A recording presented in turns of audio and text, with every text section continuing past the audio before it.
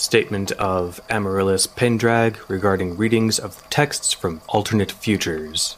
Original statement given November 11th, 528, First Empire.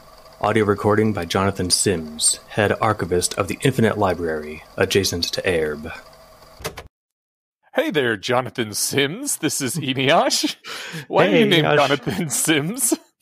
Jonathan Sims did a podcast called The Magnus Archives, and that's the format in which they opened every episode that had the typical format and a lot of archiving library stuff. My other name idea was Hermaeus Mora, which I think is the Daedric Prince of mm, Knowledge or something. Okay. But A, that's a really deep cut that no one would get, and B, um, I you know it it could have been it could have worked, but this was more fun. I wouldn't know what So to say for that one. Yeah. It's a long Yeah. time since I heard the Magnus Archives. Was that the name of the character or the creator or both? Yes. Both. Okay. Cool. Yeah, fun. And you know, another fun thing, just as uh, also a plug for that show. I enjoyed it. B, the guy Jonathan Sims was apparently accused, like before their first like kind of Q and A episode, of doing a really bad impression of a British accent. But that's actually British? just what he sounds like. Yeah, awesome. so gotta love it. Yeah. Oh, been but we're not we're not doing the Magnus Archives. What, what are we doing here? We are talking about uh, Alexander Wales' web serial "Worth the Candle" in our analysis podcast called "Not Everything Is a Clue." Exactly. We our homepage is at hpmorpodcast.com where you can uh, find a link to our Discord. You can find a link to our Patreon, which we would really uh, appreciate if people signed up for that because it makes us feel happy and also uh, gives us money, which is great. we like money. I think I think those are the same thing, right? Eh, They're often closely related, yes. Uh, we also kick back 15% to Alexander Wales as he wrote this thing, and we have a link to his Patreon as well if you would like to support him directly. Yes, what you said. Excellent. Well, uh, I don't think we have any listener feedback that we have to get through today, so shall we jump right into it? Yes, after two quick things. It sucks I didn't write it down because I'm never at my desk on uh, Discord anymore. But somebody in Discord pointed out that because I mentioned pulling luck from his bones over and over, like he does for mental stats. Hmm. But luck isn't a mental stat. That is true. So I that was just a very important qualifier because I feel like this is the kind of thing he should be doing all the time if he could have. And it was kind of just like a facepalm moment for him, like, oh yeah, no shit. Like there's there's nothing mental about luck. It's just magic uh fortune, right? So yeah. um anyway, uh that was important.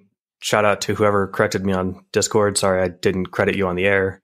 And let's see, this comes out on Monday. Mhm. So, two days after the airing of this, I'll be on the retro episode for the uh, first book of Mother of Learning on the Shipping Sec- Exercises 101 podcast. Excellent. We should drop a uh, link to that again then uh, in our show notes, which we will. Yay. Yes, if you remember, Griffin and Gorky joined us on our retro, so I'll be joining them on theirs. Fantastic. And unfortunately, I won't be because I just haven't had enough time to keep up with it and I've fallen behind. So sorry about that, guys. But Dude, I, I totally get it. yeah, I, I've been like trying to burn through podcasts to to stay caught up for all this stuff by the end of the week. So it's Mhm. uh, it's it's an adventure. you're putting it on 200% increased speed. You know, the idea of increasing the speed still hasn't even occurred to me. Something just feels. Uh, I always like listening to it at a human speech rate, so I can process it at the same speed that they're saying it. All right, wait, now hold on a second. If you were to increase pretty much any podcast by 30%, it would just match your normal talking speed. so you, you should be okay in moving up your podcast a little bit, right? Yeah, the other thing is more like way less reasonable in that I feel like I should put in something like the amount of time listening to it that it took them to make it. That's that's terrible.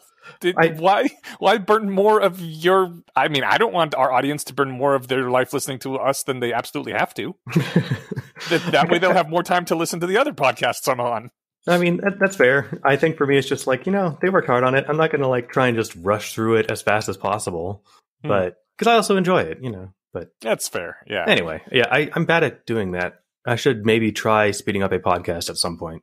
it, I mean, it you can get a lot more listening in, so that part is nice. I I feel you though. When I listened to um Gideon the Ninth, I slowed it all the way down to one x speed just because I loved that narrator's voice so much. I was like, I want to listen to this forever. Did you know I think that the narrator for or whatever the person who read the audiobook for The Martian was Wil Wheaton. I remember that. I don't. Was it the first reading or was it a second uh, edition where they got Wil? It was probably the newer one. Okay. But I just I remembered like that was my first audiobook where I'm like, oh, these can be really good. Oh, yeah. And some of them are awesome. I didn't learn it was Wil Wheaton until like five years later. Yeah, it wasn't. Gosh, when did they start actually putting effort into audiobooks? I, I mean, it was sometime after I started HPMOR because I was like really disappointed with audiobooks at the time when I started doing methods of rationality. And I was like, this, this isn't that hard. Why don't they put just a tiny bit of effort into audiobooks, you know? But soon after that, audiobooks started getting really good. And then the world has gotten much better since then. Well, thanks for kicking off the trend. yes, it was entirely me. That's the all the publishers were, were listening to to my podcast. It's true. Well, somebody was. Here's something weird. So hmm. I must have subscribed to it at another time or something, but on August 21st, and they're still coming out, I guess, somebody else is doing readings of the uh, Harry Potter Method of Rationality. Yeah, I remember hearing about that, like a British person. Yeah, but somehow I was subscribed to it because it just showed up like on my phone. Okay. And I was very confused. Anyway, oh. this happened a few months ago and I forgot to mention it to you because you're the one who did the actual audiobook. You know, I'm sure well. this poser's awesome, but okay. I did listen to part of the first one and it's no, uh, you know, Brodski Studios productions. So I, I'm, well, thank you very much. But you know, different people enjoy different styles, and I am glad that there's going to be another style out there for people who don't like, you know, my thing quite so much, but would prefer something else. So, hundred percent. The more, the merrier. Exactly. All right. So we should dive into this, huh? We should. Wow. Yeah. Let's jump into 129 schemata. That took the place of our of our listener feedback. So, yes, it did. All right. When we last left our protagonist, he was hanging out in a library poking at books and was left unattended by Raven for mm-hmm. some hours, as and if he wouldn't destroy the world. But luckily, it seems like the world survived. They got really lucky. You should never leave a Joon unattended. That's right. He, apparently, like, and we're gonna actually that's how the, the this week's reading ends. So on that note, that's a yep. But we will get to that at the end of the episode. Yeah, that's that's where it belongs. So he has been left. He has been left unsupervised for a long time, and uh, gets to skill up a bit, and gets uh, fetched back by one of the assistants, a goblin, if I believe correctly. And the the goblin like seems to threaten him a few times along the way. And I was, uh, well, you pulled out the actual quote. You did you want to read the quote? Yeah. So something about oh, I was expecting Raven. Yeah, you know, I she said for me to come get you, and uh, he's like, well, I could find my way back. Yeah, but if you got lost, then you get more lost. Then we've got to send search parties out. You can understand how that would be troublesome for us. This place can be deadly. And I'm like, that sure sounds like a threat. It does. And I was expecting like I don't know some kind of blackmail or something to come afterwards because you usually don't just threaten somebody for no purpose at all, right? And especially like if you're going to ambush someone, you don't first threaten them to put them on their guard, but uh, then then she just seems to try to lead them down a wrong turn, total ambush territory, and I was expecting there to have to be some kind of killing or something. Like Joon says, where I come from, if someone leads you down the wrong path, it's to an ambush where they're going to mug you, kill you, or worse. Those are the vibes I'm getting right now. And I really was too. And I don't know. I I think we're justified in that, but the goblin was very much about you know, oh wow, man, you've you've had to have some li- very bad life to become this paranoid. It's understandable, but whew, boy, th- that normal people aren't this paranoid. I'm like, aren't they? Because I feel like I would have been, but maybe it's just because I've been reading the story, and so I'm like kind of in Joon's mindset of being trying someone trying to kill you every few chapters. Yeah, wonderfully naive and like sheltered people aren't that tense, right? But if I'm if I'm leading you down some place where you have no idea where we are, and I'm purposely getting you lost, uh, it's fair to question my incentives. uh, I I don't you know she she walks it back, and it's entirely plausible. But the thing, like her whole her whole thing of well, no, I just wanted to talk, but then you could have just asked. Mm-hmm. You know what, what's with like the this misdirect? You're you're freaking me out here. Uh, yeah, I don't I don't he beats himself or she's like, "Oh, you must, you know, be traumatized by your horrible life or whatever. It's like, no, not really. Just you're. This is weird. I mean, I, I see. I I agree. I don't think that's true. Her opinion, because I have been led like down shady places before by friends, and you start joking about the haha, you're trying to kill me, you're gonna murder me now, and like it's a joke because I trust my friends. I know they're not gonna do that, but you can't not bring it up when you're being led somewhere shady, right? So Yeah, like, small- it just comes to mind even when you do trust the person that's there. You're like, woo, boy, creepy area we're going here. even when you trust like a lifelong friend, a small part of you is like, if they were going to turn on me and kill me, this would be the time. See, I I still I, okay, yes, if like I, I didn't think at all that they would because that would be silly, but uh, you know, it- it's you got to comment on the appearances, right? Of course. Yeah, Um, but feel like there fortunately, there is no something- murder in it. yeah, maybe the danger of the library they're mentioning was something that we don't think we mentioned last week, where like when they arrive, somebody was missing when things got shuffled, and just immediately she's like, well, well let's do a funeral. Like, Yeah. no looking for them or whatever. So apparently getting lost in the library is basically lethal. Um, It's yeah, sounds like it. You're like you never find your way back because it's fucking infinite. Yeah, so I get I get what they're saying about it's dangerous, but they just like presumed this person dead, and I'm like, give them a couple days. I don't know. Hmm. Anyway, um, there was one quick thing I wanted to pull out here was that uh, apparently when the library was discovered, it was inhabited by information-eating aliens, and uh, the reason I pulled that out is because that was not in Joon's original design, and I just thought that was a fun reminder that this is this that Joon inspired lots of Aerb and like presumably its counterpart worlds like this library. Um, but he he wasn't like the full author of them.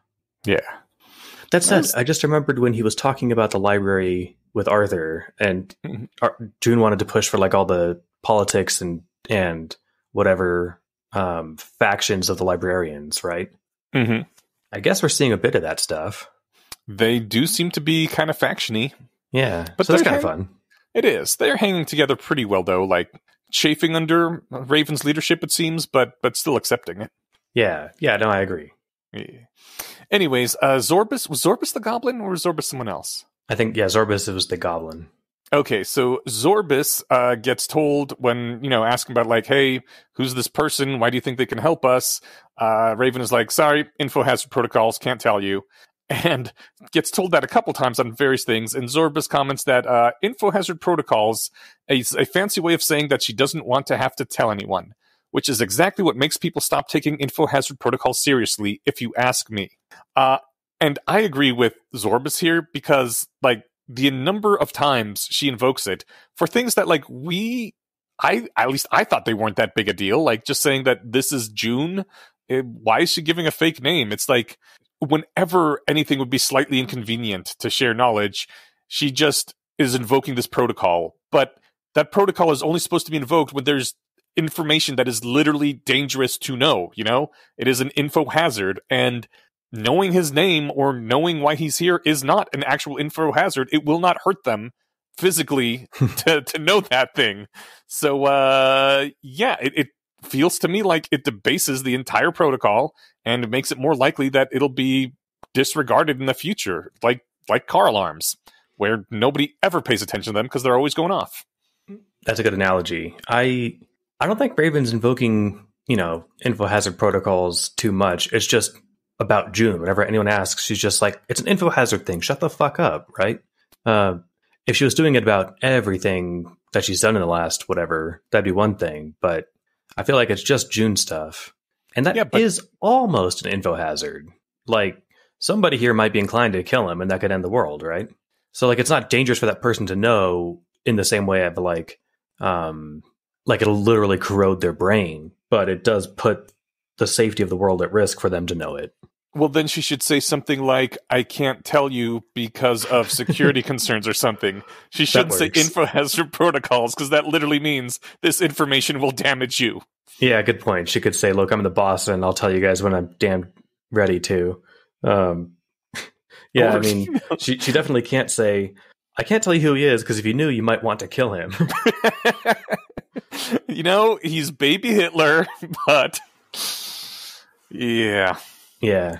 Well, speaking of uh, trying to kill him, uh, well, eh, speaking of him in general, so I think Zorbus is complimenting, saying, "You're a big, strong man, certainly soaked in magic, and definitely her type. But I hope you're not underestimating the boss. That's all." oh, definitely her type. I misread that when I took my note and um, when I put that on here. For some reason, I thought definitely not her type. Oh. And I was like, he thought, so he thought that in italics when he was like listening to Zorbus talk about this. And I was like, oh, he's like in- incredulous. Like, how am I not her type? I'm so handsome. Um, but no, I, I- get it. He's, he's thinking, oh shit, I'm her type. Of course I'm her type, right? See, I was kind of confused when I read this note of yours. I'm like, huh, I wonder where Steven's going to take this. Let's let's find out. It's really But easy to take it the wrong way when you can't fucking read. I mean, your brain inserted a word. That happens sometimes. but it did it like three times. But, you know, fair enough. Well, it says definitely her type, and then later in the sentence, I hope you're not underestimating her. So, like, the not maybe interfered or something with Yeah, your brain. Definitely her type is there twice. Yeah, no excuse. I can't read. Okay. I've been pretending this whole time. So your your comment was, "Alas, she won't be a party member." Then now, are you thinking, "Alas, she's going to be a party member now"? Oh yeah, um, yeah. Because I was thinking there, that she couldn't be because she wasn't into him. But now that she is, then yeah, my probability estimate of her being a party member literally goes well above fifty percent. Whereas previously it was at like ten. Okay. Yeah, Uh, Alrighty. I hope she's a party member. That'd be fun. She's cool. I I do too. I'm I'm just tickled how everyone has jumped on the well.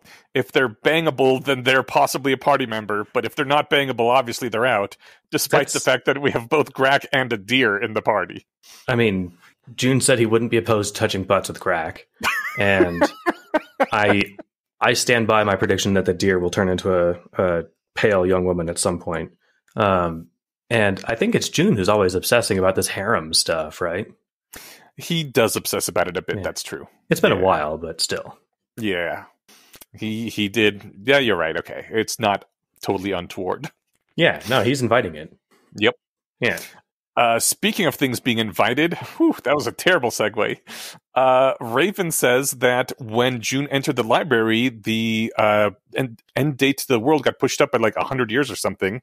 Uh, she says, removing you from time apparently greatly increased the odds of Aerb survival, which made me think, well, maybe the Uther hobos were onto something here with this whole killing Joon idea. If taking him out of here makes Aerb last a lot longer.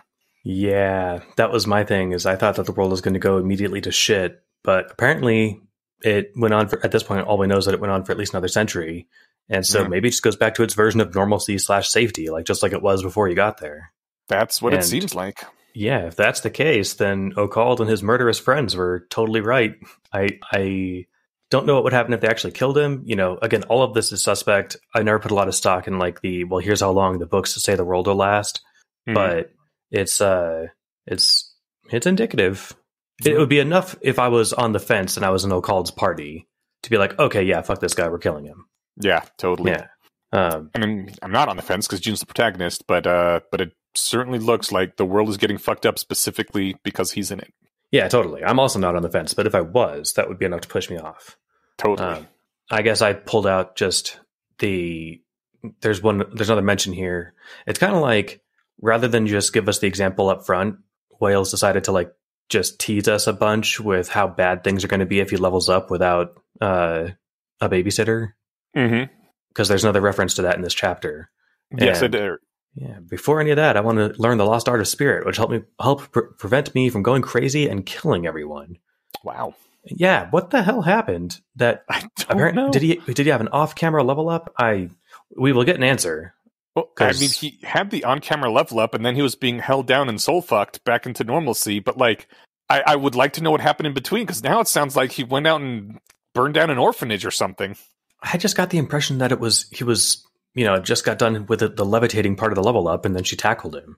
Like- yeah, I it says like the next thing he was aware of, but maybe yeah he he did stay high on the rush of level up and went out just completely unconsciously. I don't know, tried to rampage. So we'll see. I we will see. We'll see very soon. I think. Yes.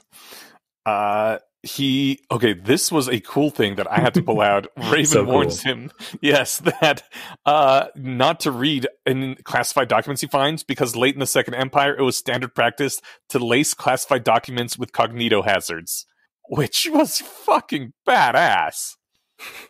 Like it's something you don't want people to see. Just put a little booby trap on the front of it that if they look at it, it explodes their brain. That is some Magnus Archives level bullshit.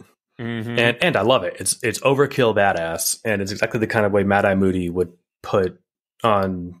I don't know how he would sign sign a real letter to somebody, but he would find he would definitely be putting that on everything, right?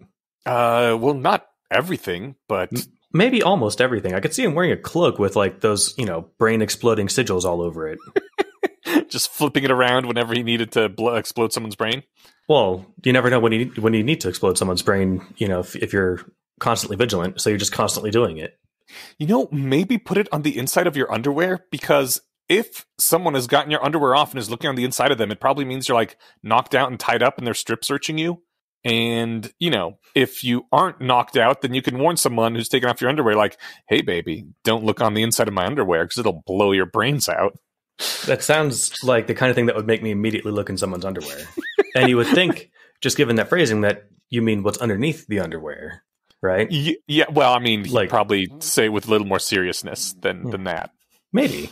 Anyway, I love it. It, it was cool, and he says that uh, all that was part of SCP. So it was in SCP. So he put in Longstairs, and since it was long stairs, it's an herb. And um, I, I was like, I had a little bit of like, ah, I thought this was like a cool original thing because I hadn't read that in that SCP, I guess. Uh, but I guess you know, they, they, there's nothing new anywhere, and everything's a remix, which is not entirely true. But I, I shouldn't feel sad just because that one thing was borrowed. You know. On the plus side, putting in a self aware character in a story referencing the SCP origins is maybe original. That's true. If you can't reinvent the wheel, you can at least roll it down a new hill, right? Exactly. That's a that's a good way of putting it. Yeah, yeah I just made it up. I, Nice. I don't know. Um, so there, I mean, I don't, I didn't take a lot of notes of this chapter mainly because it was a lot of just like guessing about how the schema works and then explaining how it works, which I really Mhm. enjoyed. But uh, I pulled out this quote about it. Um, Joon just says, "I groaned," and then, "Uh, that's so unnecessarily convoluted." And well, laughed. It is. It's the price you pay for trying to mess with the library. And this sounds just like as twisty and confusing as possible, which it's fun Mm. to watch them puzzle out, but like I didn't even try to contribute to any of it, like while Right. you know pausing and thinking about stuff. So Yeah. It wasn't But- like a puzzle that we the reader were presented with, so we I don't there's don't think there's anything we could have done anyway. yeah, you're right. We couldn't test stuff. You know, the number of periods in the book or whatever. How the hell are we supposed to guess that? Um, Right. Yeah. So I just like how Joon kind of reflected my um my thoughts on it. It's like that's so con- you know unnecessarily convoluted. Something to do Mhm. with how like the library handles duplicates or something. And I'm like, yeah, that it sure sounds like a mess. Fuck this place. But um, Yeah. he's asked if he's like Uther, and he dodges, but he's thinking like, I don't know why I should keep it secret, but Raven wants me to. And I had to raise an eyebrow at that. Like he doesn't see a reason to keep it quiet. You know, some of the folks who found out wanted to kill you and succeeded in killing someone close to you. I I say keep a lid on that shit. You know, if if I didn't think I was strong enough to defeat our, uh, you know, Uther's second coming, maybe Yeah. I would just leave the library, walk him out, and then leave him halfway between Aerb and the library. Ooh. You know, I mean, I wouldn't even have to punch him to death. I could just like, oh, watch this, and then you'll starve out here. You know, it, nothing would work because I think he'll survive no matter what. But worth a shot. It hadn't occurred to me that that was a possibility to like leave someone in the void between worlds. It might not be, but he had to leave his eyes closed and hold Raven's hand the whole way. So, Ah, it's true. oh, somebody guess- pointed out that he was T posing when he arrived in the library. Yes. Yeah. Sorry, Um, that was all. Yeah, no, no, no, that's cool. I, you know, I don't know. I feel like, I guess I'm not as concerned about revealing who he is because it seems to have worked out pretty well for him so far. But I guess, like you said, there was the whole attempted murder and killing the love of your life thing that happened. So, yeah, maybe maybe he should take a clue from that and not be quite so blasé about the info. Like maybe Arthur Uther had it right. Well, I think there's there's a balance. You tell the people you trust, and you don't tell everyone else. You know? Yeah, yeah, yeah. Because yeah, he seems to not have told anyone. yeah. You you pulled out that bit about when Joon reports to Raven about how um, that goblin tried to take him down the wrong path, and he thought that it was an ambush. Mhm. Raven was like, "Oh well, that's because he lived a life like Uther's. He was like that too in the beginning." And it's like it's not paranoia. If people really are out to get you. You're right. Yeah, it's not paranoia if people really are trying to kill you. That's just healthy coping. But, you know, it is a little worrisome because it seems to imply that Joon might be on the same path of being broken by Aerb that Arthur was forced down. because he's you know only been here what a few months and he's already people are noticing the parallels of like oh yeah you're all kind of jumpy and paranoid like like Uther was so uh maybe give him another 40 years here and he's gonna start being hard to recognize as well That's a good catch on that parallel. I didn't notice that. I think because his entire party would do the same thing. Well, Hmm. half of them. You know, Amaryllis, Grack, and Val in Half Moods. Definitely Fenn would have been, you know, Yeah. careful about being led down an alley. yeah yeah Solace wouldn't care. The doe doesn't know where it is, and Bethel would be the alley. So, yeah she she wouldn't have anything to worry about yeah. Anyway, really not much else in this chapter. I agree with Joon that the perks of library magic better be super duper awesome since they're pointless outside this place. Mhm. Um, and unless this is going to become like a fixture of the rest of the book, then you know he's going to get a ton out of being here and then leave and never come back. And next time he levels up to re-roll like his what is it, Redistributed skills. Um, he's knocking library magic off because he already got everything he needed. So Yeah, I would assume so too. Especially because it seems to be the the um the pattern of this game where you go to an area once and then you don't really come back to it, with the exception now of their home base, which you know a lot of video games have, where you keep always coming back to the home base, but uh you don't return to old uh zones that often. That's a good point. Yeah, I mean, he they haven't visited one place again. I mean, Amaryllis and Val briefly went back to Barren Jewel, but that doesn't really count. Yeah. Um, you know, it was not the protagonist and it was off camera. So, um, Well, it, it was a little bit on camera. We we got to see that. yeah, we, we got we got the POV, but he kept parenthetically saying, you know, I'm inserting all of my artistic liberty here. Right. Um, yes. But uh, there was just another funny beat when he tells Raven, "Oh yeah, I should be, uh, you know, something like 12 years proficient by the end of tomorrow," and she sighs, and I'm assuming that's because it's a bummer to hear that some nerd gets to cheat his way through all those years of toil that you worked hard to do. Right. or maybe she was saying that it's going to take so damn long. Two whole days, come on, Jesus, I brought you in here because you were the new Uther, not the new slow Uther. right? The Waru Theorio. What? You, I can't mix Wario and Uther. It doesn't work. Wuther? that's the best I could ever do. Sounds sounds dumb. But then again, Wario sounded dumb too. It really does. Waluigi sounds even less creative, but you know they all they're they're all fixtures now. So I thought Waluigi was absolutely terrible until I discovered that it's a pun in Japanese. oh, I didn't know that. I just That's- assumed that the the prefix wa meant something. Combining the Japanese adjective waryu, meaning bad, hence bad Luigi. So warui or warui, I'm, I don't know how to pronounce that, but warui and Luigi together was Waluigi, and warui means bad. So I was half right because it's Wario and Mario are kind of the same name too. Yeah, but like the only thing with Wario is it's just they turned the M upside down, right? So it was basically a pun in English because Oh, yeah. it, it depends on knowing the, the Latin alphabet, I guess, that W is the upside down M. But uh, that Waluigi was a, a pun in Japanese. So that worked out pretty good and happened just to be a lucky circumstance of having the M turned upside down being a W thing. Very good. Yeah. Anyways, another Back to your regularly scheduled program, the abject despair of an uncaring world. that does sound like a regularly scheduled Alexander Wales content. Um, it doesn't start off so bad though. Lunch break. Yay! They, they've got this nutritious goop called Miraculous, and we learn after a fun little thing that it tastes and has the texture of whatever you're thinking about. Which, frankly, sounds awesome. Mhm. It sounds like viscous, lumpy soylent that, well, before they described that it could take on the texture of whatever. Um, it's basically, he tries it and he's like, oh, it doesn't taste like anything. Really? A lot of people say it tastes like uh, chicken. And then the next bite tastes and feels like chicken and he freaks out.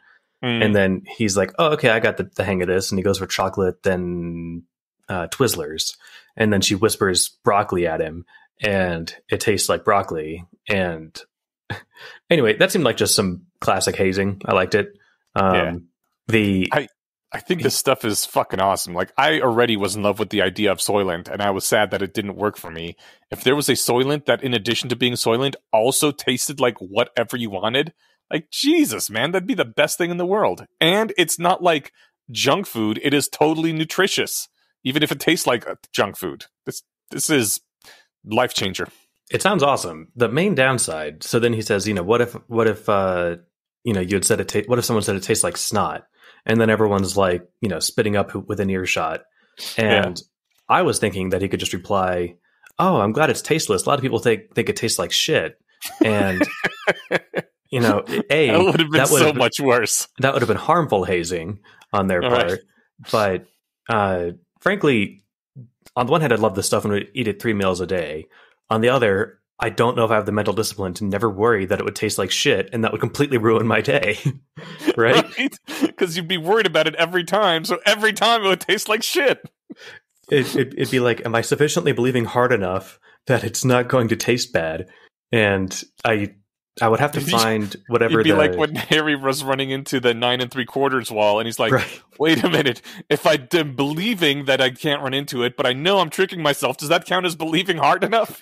I wouldn't be tricking myself if I really believed it. Oh shit, I'm going to crash. Yeah. yeah. Yep. I I really liked what Raven uh, brought up when she walked in. and She's like, "You motherfuckers, we're librarians. We're like the Marines of the intellect. Everyone here should be able to eat miraculous without being bothered by anything they hear." Uh, what was it? Words are symbols, and you should be able to disso- dissociate symbols from meaning and prevent them from spurring trains of thought. Which, first of all, she was a total badass sergeant right there, and I loved it. But I like this. Totally feels like all those librarians are like rationalist martial arts masters or or at least striving to be you know and i think if we had something like miraculous in real world it would be like a great test to see if you get the next belt or level or whatever in a rationalist martial art is whether you can eat some miraculous and have people saying words like shit and snot and stuff near you and still be tasting and eating chicken I wonder. You could always just lie and say it still tastes like chicken, kind of like you know those people who can meditate themselves into a state where they don't respond to physical pain. Yeah, that's true, but maybe like someone could say bar of steel or something, and then the fact that you're not able to chew would Hmm. prove that you thought of as bar of steel. You, sir, just sort of earned a notch in your belt of your this rationalist martial arts dojo. I, That is a very clever solution. okay. um, yeah, I, I don't know what to say. Um, that's that was great. Someday we will have us this dojo. Well, and we'll have this this food. I think it sounds awesome. Yeah, it does sound great. Although, I mean, I don't know if we'd ever quite have that food because it sounds uh, like it depends on mind reading. I guess in a simulation we could have that food since it might be able to mind read. Maybe what I think Tasty Wheat tasted like actually tasted like uh, oatmeal or uh, or tuna fish. That makes you wonder about a lot of things. Uh, you, you take chicken, for example. Maybe they couldn't figure out what to make chicken taste like, which is why chicken tastes like everything. And maybe they couldn't Shut figure up, out. Mouse. Yeah, man. Robot simulation food can be hit or miss. I'm betting. Yes. Sometimes, you know, they do what they can. They do the best they can with what they have, which is no taste buds. uh, Raven points out that she can count on one hand the number of times she slept in the last 500 years. And I, first of all, a few years ago, I would have think this sounds goddamned amazing. Uh, I still think it sounds amazing, but maybe like less so now because I get tired and and the sleep is actually a relief. But up until a couple years ago, like this would have been the best thing in the world, where I could have just gone nonstop all the time. You didn't get tired before? Uh, yeah. Before my back injury, I would like. I mean, I would get tired in in the fact that like I have to sleep now. That kind of sucks. But like, if it wasn't for like being being um just reaching the the end of how long my body can go without sleep, I could have. I wouldn't have had a problem just going constantly without without resting. Oh, I see what you mean. Like you needed to you needed to uh to sleep in the same way you needed to eat, but like now you sleep Yes. because you're worn out. Yes, exactly. Okay, now I'm actually like, oh god, I can't, I can't do more stuff today. I'm just gonna lay down and like watch TV or read or something for a little while, and might as well sleep because I know I'll be recharged in the morning when I'm done sleeping. Whereas you know before it'd be like, oh, God, I can't keep working. I guess I got to go sleep now so I can get back to the good stuff. We'll find a we'll find a happy balance. We will Yeah. someday when we have our cool ass robot bodies. Fingers crossed it's Monday. I could, you know, the sooner the better. totally uh the uh the thing he is thinking about raven is the fact that like both him and arthur got to have raven in in like their world uh and like arthur obviously knew that she was maddie's character. He had a bunch of other people uh that were other other player characters, uh, characters, other player characters, other Kansas people's characters, and uh, and Joon gets to thinking like one of the interesting things for him is comparing how much Arthur and I had found Aerb and uh, which parts were meant for him and which parts were meant which parts were meant for Arthur and which parts were meant for Joon. Because there's like a 500 year difference between them and like obviously it couldn't all have been just for Arthur or just for Joon but there is some overlap and he's like trying to suss out where's the overlaps? And I thought that was that was a cool little thing he was thinking about. Yeah, I I just like that he got meta thinking about stuff because he usually deliberately avoids thinking about it. yeah, uh yes he does Yeah, he doesn't want to think about that nature of stuff, which I can totally understand. But how do you not be curious about it? You know, is this history rewriting itself and messing with my memories? Is this, you know, somebody who knew me and Arthur putting us through all this? Um, it's it's interesting. Yeah. Um, he kind of like recenters and finds like something to latch onto, and he asks her if she ever wore cat ears. Mm. And she's like, "Oh yeah, I wanted to be Animalia, but I haven't worn cat ears in at least twenty years." Hmm. And I I was curious if you thought at least twenty years was like a joke, Mhm. you know, in the same way that like Julius Caesar has been dead for at least seventy years. Um, Well, I mean, it. She, she might not be like because uh, I think your note was like, how can her librarians take her seriously if she's wearing cat ears? Like maybe it wasn't. I, I have both a tail and cat ears that I occasionally wear out when I go dancing because they're super fun, but I don't wear them to like work or to book club or anything. So like maybe she just did something like that where she has a pair of cat tails, which or cat ears, which she'll like put on when she goes out dancing or something. that makes sense. Okay, assuming that she ever has fun, but yeah, I I assumed for some reason it was like a twenty four seven thing. Well, maybe that's why she said at see- least 20 years because she hasn't had any fun in 20 years. That could be, yeah. But then I'm thinking like, all right, my boss looks like a child and is wearing cat ears. Like, how do how am I supposed to be taking orders from her?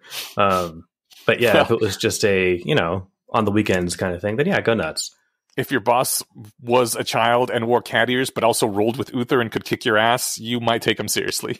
Oh, I still would, but it would just it would require conscious effort, at least for the first you know while. Yeah, yeah.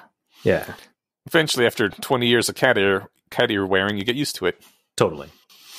All right, Okay. so I the, the next morning, this Davy Jones looking motherfucker shows up, and it's so much worse.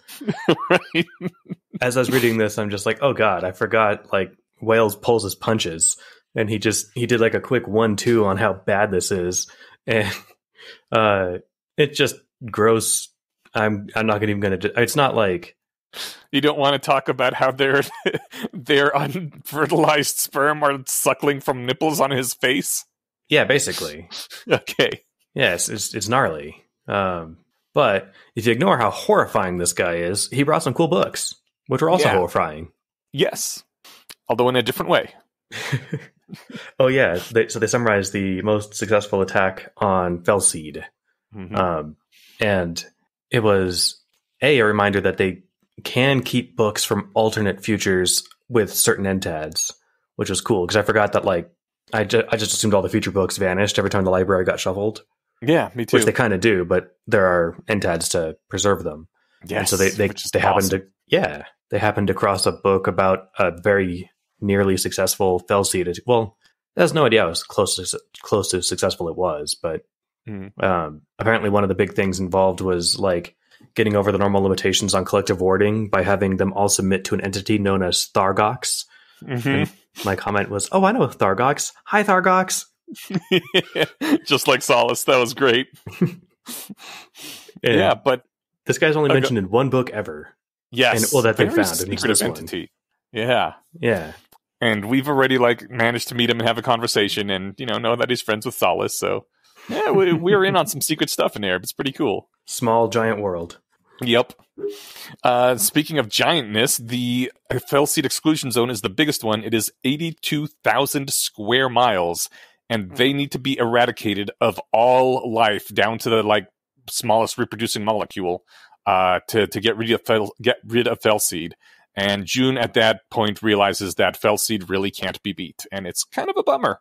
Yeah, I don't know how big of an how big an explosion a nuke makes, but they're going to need a lot.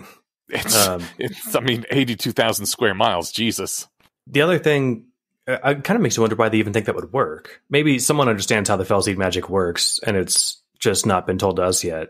Um, so, if and when Joon beats him, it's obviously not going to be by eradicating every germ in an eighty-two thousand square mile area, right? Yeah. Ooh, It- ooh, ooh. Okay. So, how big is that? The largest nuclear bomb ever detonated on Earth, the Tsar bomb or Tsar Bomba, uh, created a, an explosion that destroyed everything in a nearly 22 mile radius. So, yeah, what's what's a 22 mile radius in square footage? Uh, you're gonna, then we're, I, yeah, pass. It's a lot. We're going to need a lot of bombs. It is 138 miles, Oh, 138 radius. square miles. Oh, I should have been able to round that out. Yeah, radius, because yeah, sure, pi squared.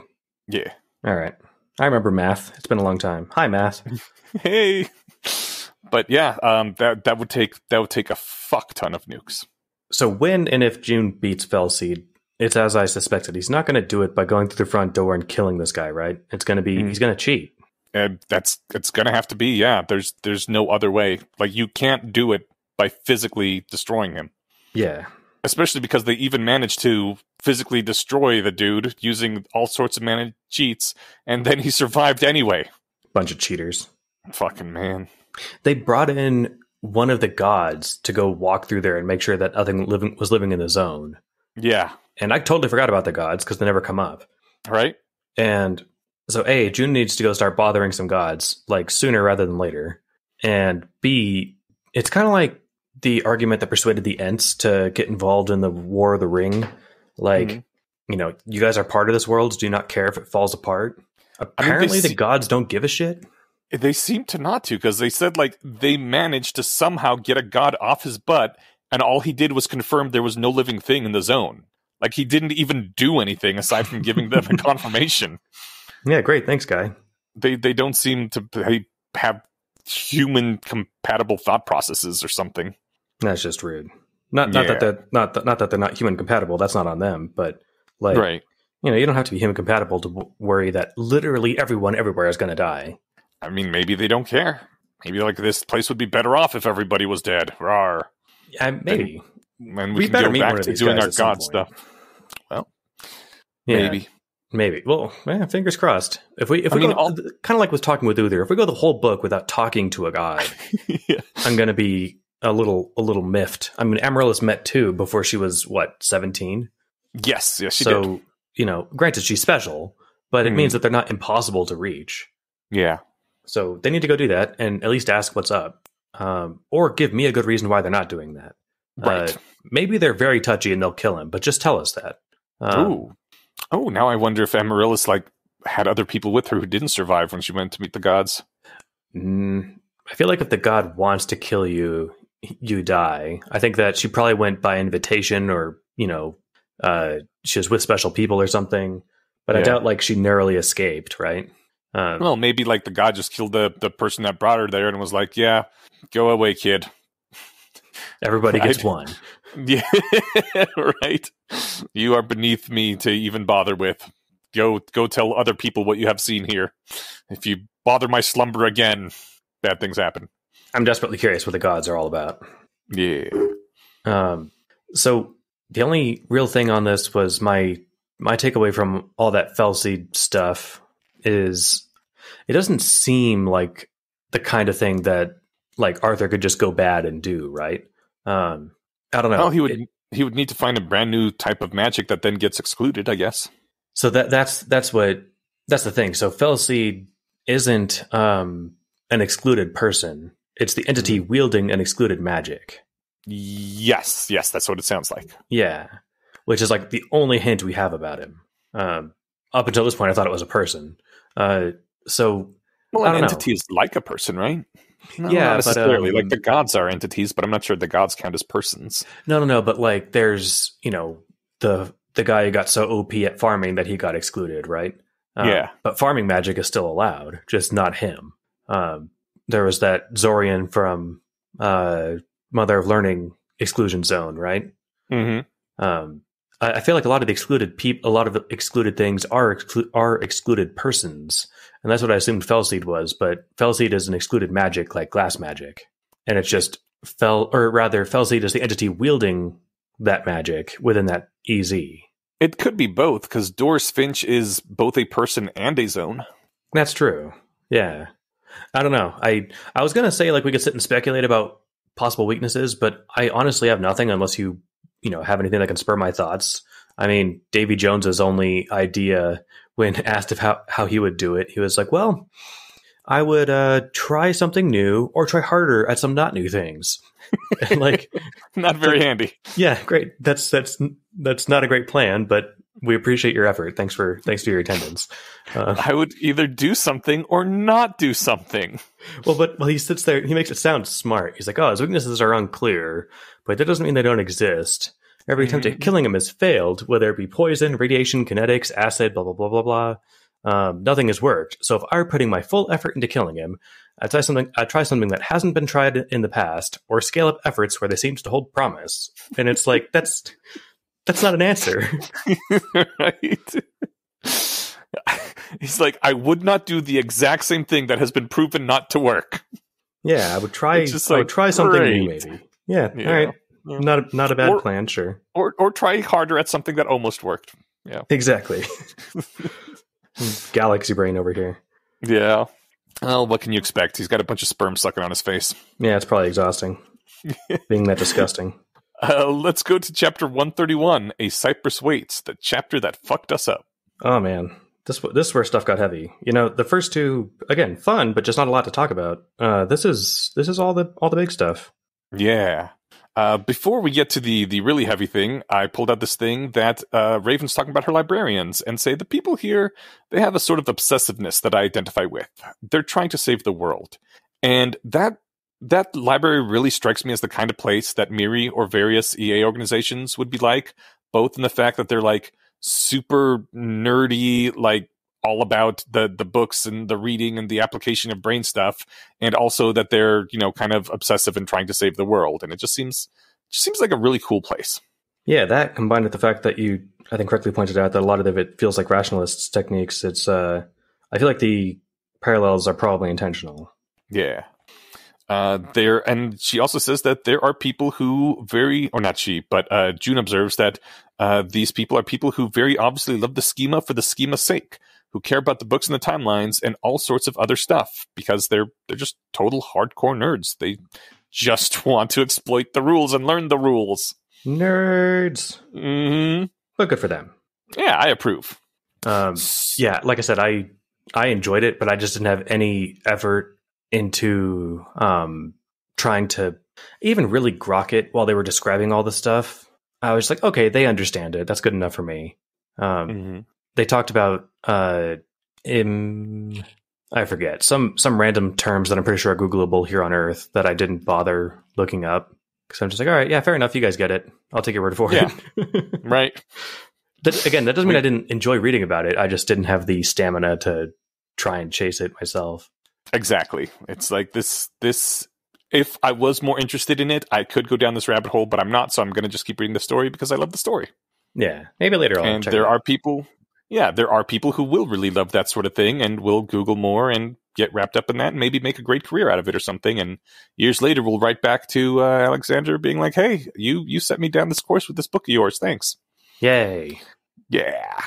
But let's get to the the real meat of this of uh Cy- a Cypress Waits, which is the name of the books, I guess, because she puts out a new edition every year that um that Amaryllis writes to Joon uh once every year. And the first one that she wrote is also the first one he finds, where she says, I hope that you're able to find this book. Otherwise, none of what I've been doing will mean anything to anyone. I'm going to be here in this future that won't matter until the end of the world. It's been a few months now, long enough that I know you're not coming back, which means that what I'm experiencing right now must be the future that the library is predicting rather than actual reality. It feels real to me. And I mean, th- this beat us hit several times over in the course of the chapter and in the various books, but this part was a mindfuck to me when I first read it. And like and still is, I guess, because I hadn't I hadn't expected to like the he jumps in the library and suddenly the entire future is like played out and people actually live that future. Like, I don't think it did it actually happen. He's only been in here a couple days, so it's not like that future all happened. But but if the library is predicting what all of history will have been if it continued on from the moment Juniper, Juniper entered the library and you know taken the books that would have been written from that point, like since we already know this is a simulation, the easiest way to do that would just to make a separate save file right now for Juniper and then run Aerb all the way through until the end of time and take all the books printed in that run and put them in the infinite library in the save file and then restart the save file. Which, if that is what's done, means that basically the entire universe went on forever while Joon was on pause and then was erased at the end of it. And like, I don't know, is that mass murder by the DM that he just runs all these people and the world and then erases them just for to make this library for Juniper? Like, is the C- Cypress Amy dead? Does, does what she go through not count because it was all erased? I don't know. I wasn't sure how many rhetoricals you were asking until I didn't want to interrupt and answer the first one. Uh, okay, yeah, but go, go ahead. No, I mean, I at, from taking it from the top. I mean, you know, I she opens it all pragmatically. You know, hope you find this book. Otherwise, none of this fucking matters. And so, mm-hmm. just super pragmatic. Um, mm-hmm. but the line "it feels real to me" is its own line on in, in the text, and that sent shivers down my spine when I read that because, like, yeah, I, am with you. You know, it, all of this. I don't know what to say about it. I feel like it's as real as anything else going on here, right? Um, yeah, you know, there's there's no what is it, I mean, like she must have been simulated at least long enough to write that, right? Or you know, if she's just full on 100% emulatable by the DM, then it could just be um, that you know he um, modeled her mind well enough to write these books, you know, but like write them himself. But I don't. That like, doesn't feel like the answer, right? Yeah, yeah. It, I, I mean, it really feels like they did run the world because she goes through all this experimentation and talks about like all the other what the other companions are doing and the fallout of how things finally end. Like it, it feels like the whole thing was run. Yeah, and they, you know, so like the easiest way I think they talk about this to like simulate library books would just be to like have them basically empty until you know someone opens it and has to render the content of it. Mm-hmm. In fact, most of the library could just not exist until you round the corner, right? Um, right. But they've taken information from the books and done stuff to the real world, apparently in the past. Yeah. And so it's it's real enough to do that sort of thing. So yeah, something like that's happening. I mean, I as far as I'm concerned, this person, this version of Amaryllis actually existed and had a life, right? Right. That that is my my understanding as well. My emotional impression, I guess. I don't know, whatever you would call it. It feels real to me. That's yep. I think I use that line later in the notes too. Um, so so like then do the does her life not count and not matter because it was erased? Or or or is the dm like a murderer of of amaryllis and i guess of everybody? Um or does it not know, count as murder if you erased and wound the clock, clock back? I don't know how to define murder that way. Um i still feel like you're probably doing something wrong but not under like traditional definitions of wrong. Um mm-hmm. but I still wouldn't do it and I'd tell other people not to do it. Um, like, I don't know what you mean by like her life mattering. It sure seems like she helped people and accomplished a lot. But you know? she didn't because then it was all erased. If if if it's not murder to have done this, then none of that murdered. Then none of that mattered because the only way it could not be murder is because it's okay because it was erased and it never really happened. And then none of what she did mattered, right? Because it never really happened. Maybe I think I'm I'm running on this in my head like just um like alternate universes. Mm-hmm. You know, it the the universes running parallel to our own are as real as this future is to Joon right now, right? Sure, but the universes running parallel to our own actually exist, whereas does does this one still exist if it's erased? This one seems to have existed. Um I don't know I mean, I think people get fuzzy in the head when they think about like meaning. Like, do, did this life have meaning? Yeah. But you know, if it, it sounds like she accomplished a lot. She helped a lot of people. She did a lot of good. Um, people were made better from that. Uh, it's unclear how far this future ran before it stopped, but none of that stuff didn't happen just because they deleted the universe. Um, so did the I- things that that um, Bill Murray's character does in Groundhog Day not actually happen? Or did they actually like when he killed those people by running them into a train on the train tracks? Is he still guilty of murder because they still died that day, even though it got rewound the next day? I mean, I wouldn't sentence him if I was the judge because those people are okay. Um, but like, I liked in Palm Springs a lot where Andy Samberg's character didn't want to hurt people Mhm. and didn't like it how J. Jonah Jameson kept shooting him and you know torturing him to death Mm-hmm. because he's like, no, the pain is real whether or not things rewind. Like that's not the point. The point is they're they're in pain and they don't want you to do it. Um, Well, if if you're going to say that it's okay that he ran them into the train because those people are fine and you wouldn't convict him, then wouldn't it be okay for Amaryllis to do like Nazi style experiments on people because they're actually okay in the real universe that Joon is going to be in? I'm not saying it's okay that he murdered those people, but I'm saying that like I, as a judge here on Earth, where time just does the one thing, I don't feel like I would have grounds to sentence him on. In fact, Mhm. the people who he murdered would probably show up in court and be like, "No, Bill's great. Don't kill him. Don't put him in jail." And so when I'm going to sentence them, sentence him for their murders, they're here defending him. Um, so if if would now, have again, tortured and murdered that's- someone, that's just the convolutions of the law. So like, I guess Okay. I got hung up on that part. Like, it still was wrong. Um, okay, if Amaryllis were to, you know, they did some heinous science. You know, they did send a non-anima to Felseed. Um, yeah, but yeah, they they like aged one up real fast in the time chamber, which must have been a horrible childhood, and then sent it it him her whatever into Felseed Zone to be, I guess, tortured forever, since that's what Felseed seems to do with people. And I don't Yeah. know, it I- it feels like that that she did the right thing because she got more information, and then that universe is ex- erased, and so it didn't matter. That person. I don't know. I get hung up on this. This is the exact same thing that happened with me for uh, the first 15 lives of Harry August, because that also has extremely long universe spanning time loops. And I also didn't know what to do with all that, like how I should feel about it. I mean, I think Amaryllis's decisions that she made in her timeline here, she did with the understanding of like we're never going to get the good ending because, Mhm. or she did with the belief rather that we're not going to get the good ending because Joon's gone. Um, so she's like, I will just try and collect data. And she didn't, you know, she wasn't as ruthless as she could have been, which is awesome. I want to talk about most of what she said here, but like, you know, the the non-anima experiment is the kind of thing that she might have done in the, if we want to use the phrase, one true timeline, because the utilitarian math played out, right? Mm-hmm. Um, for the same reason she would bash Joon's brain in with a hammer if it would save the world, right? Um, yeah. so yeah, I don't think it was the fact that she's like, aha, I'm finally cut loose by moral constraints because I'm in my own universe and none of this matters. In fact, she explicitly says the opposite in her last book, and or the last one we read anyway. Um, well, she says that she wishes she had cut loose her moral constraints because now that she's reaching the end of the universe, she realizes that it doesn't much matter. And the only thing that did matter was sending information to Joon in the real universe. So she should have just gone all Nazi scientist and done anything that needed to be done to give him more info.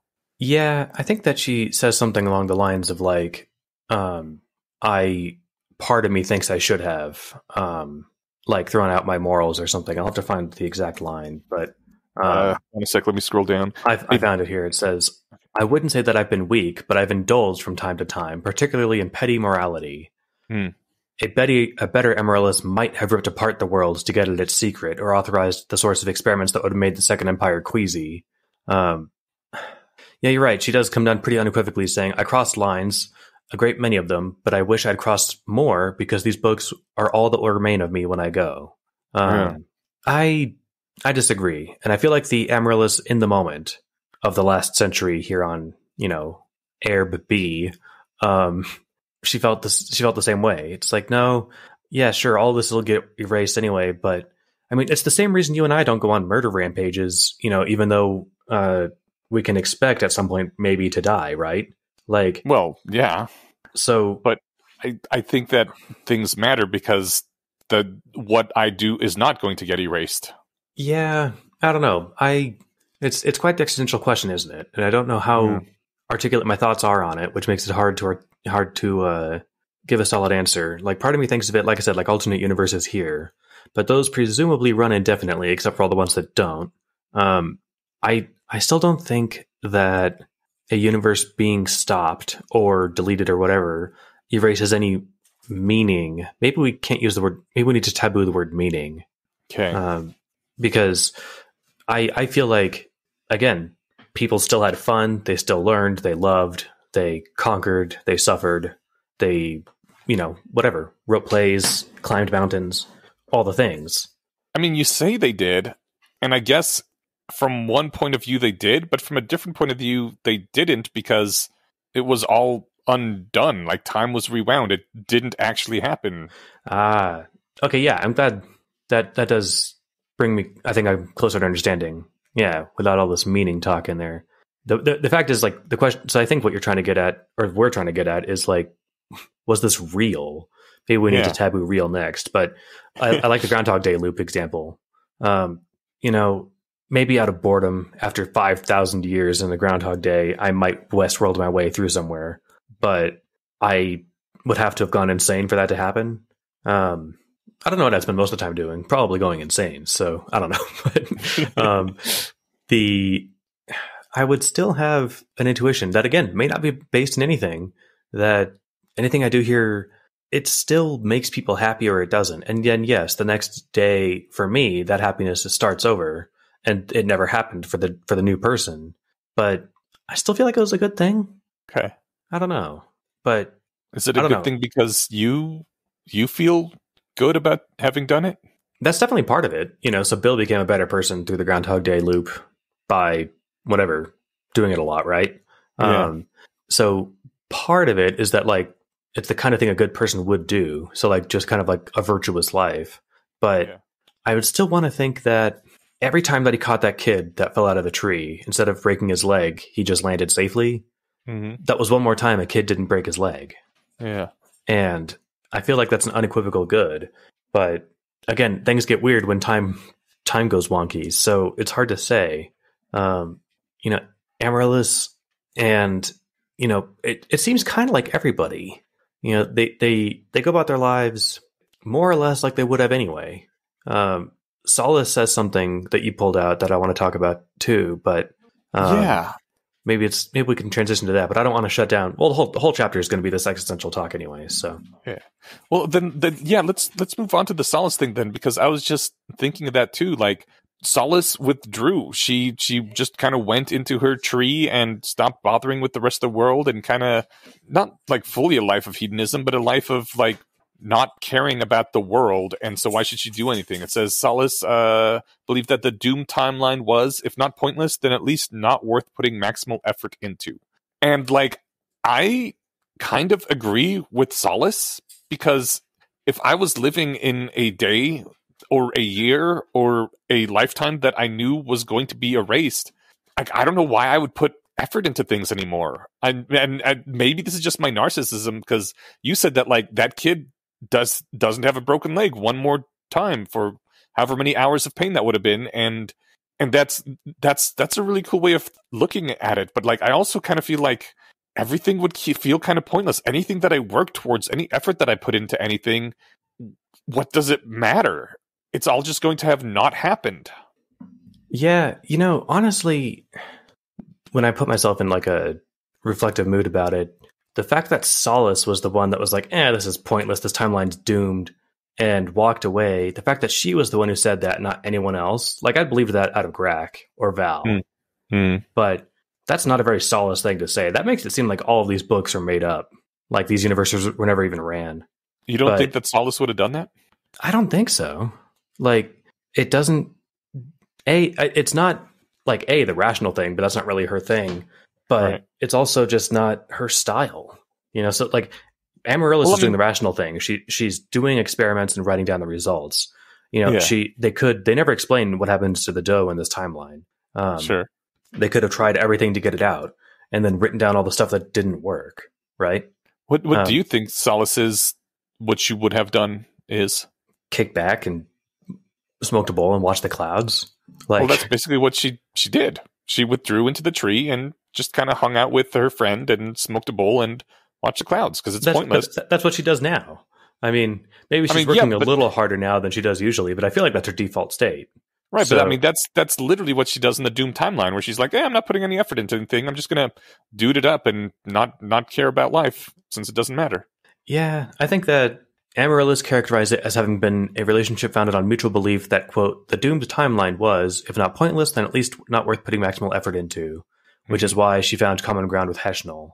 Um, Yeah. That was Amaryllis characterizing it that way about the doomed timeline. Solace didn't say, because this timeline is doomed, I'm going to do this. Because that doesn't sound Oh, like a very yeah. Solace thing to say. Yes, absolutely. I don't think Solace would have ever said any words like that. I think she would have just, like you said, kicked back and not bothered with things really and let the world end. Okay, yeah. When I re- when I read your note, I forgot what the exact text was, and I thought that Solace said something about the doomed timeline. I'm like, that doesn't sound like something Solace would worry about. Oh, okay, okay, yeah. Doesn't sound like No, that's was- something that she's the least bit, least bit, you know, concerned with. I was just taking, you know, Amaryllis at, at her word that she was correct in thinking what Solace's inner motivations were, even if Solace like wouldn't have said it or anything. No, totally. And like what the the part that you pulled out was in a um, you know, a bullet point highlight speed run of some of the other books, and it, so it wasn't even in Amaryllis's own words. So we, it was twice diluted there. Um, Right.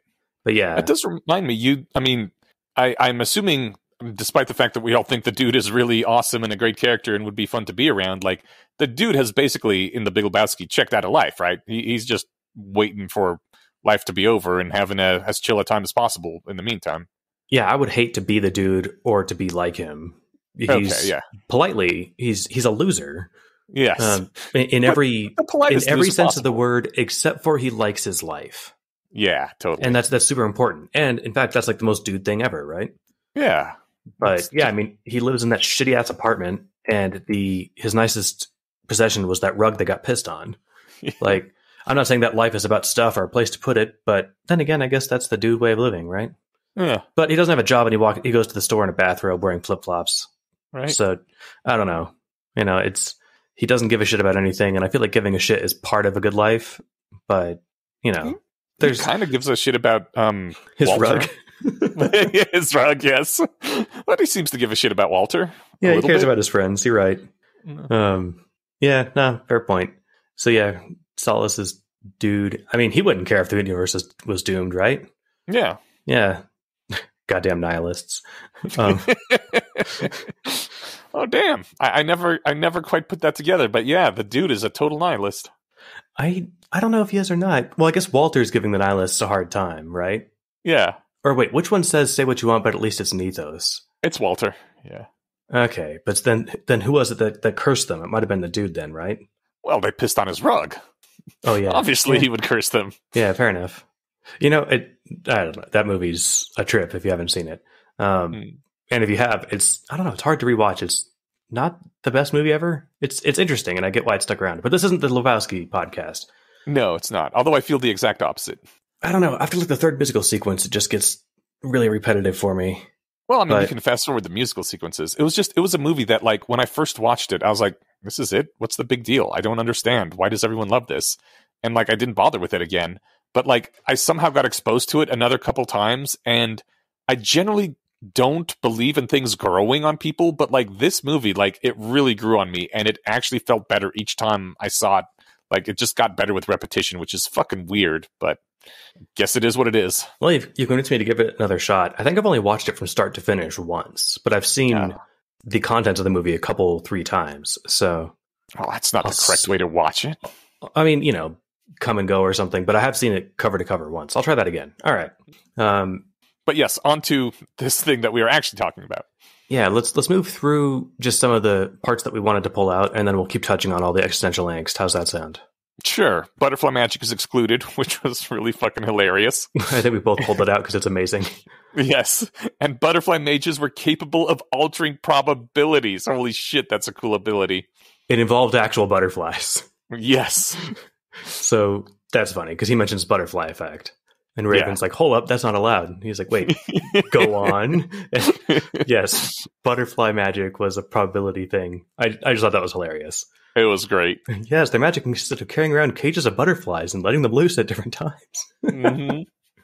Um, uh, Amaryllis says that when she's writing these these uh, books, she's always condensing them down so that you know, I guess not taking up too much of Joon's time or something. But she says, I find myself reducing chapters down to pages and pages down to paragraphs, then paragraphs down to single sentences, until finally the sentence gets removed and it's like it never was.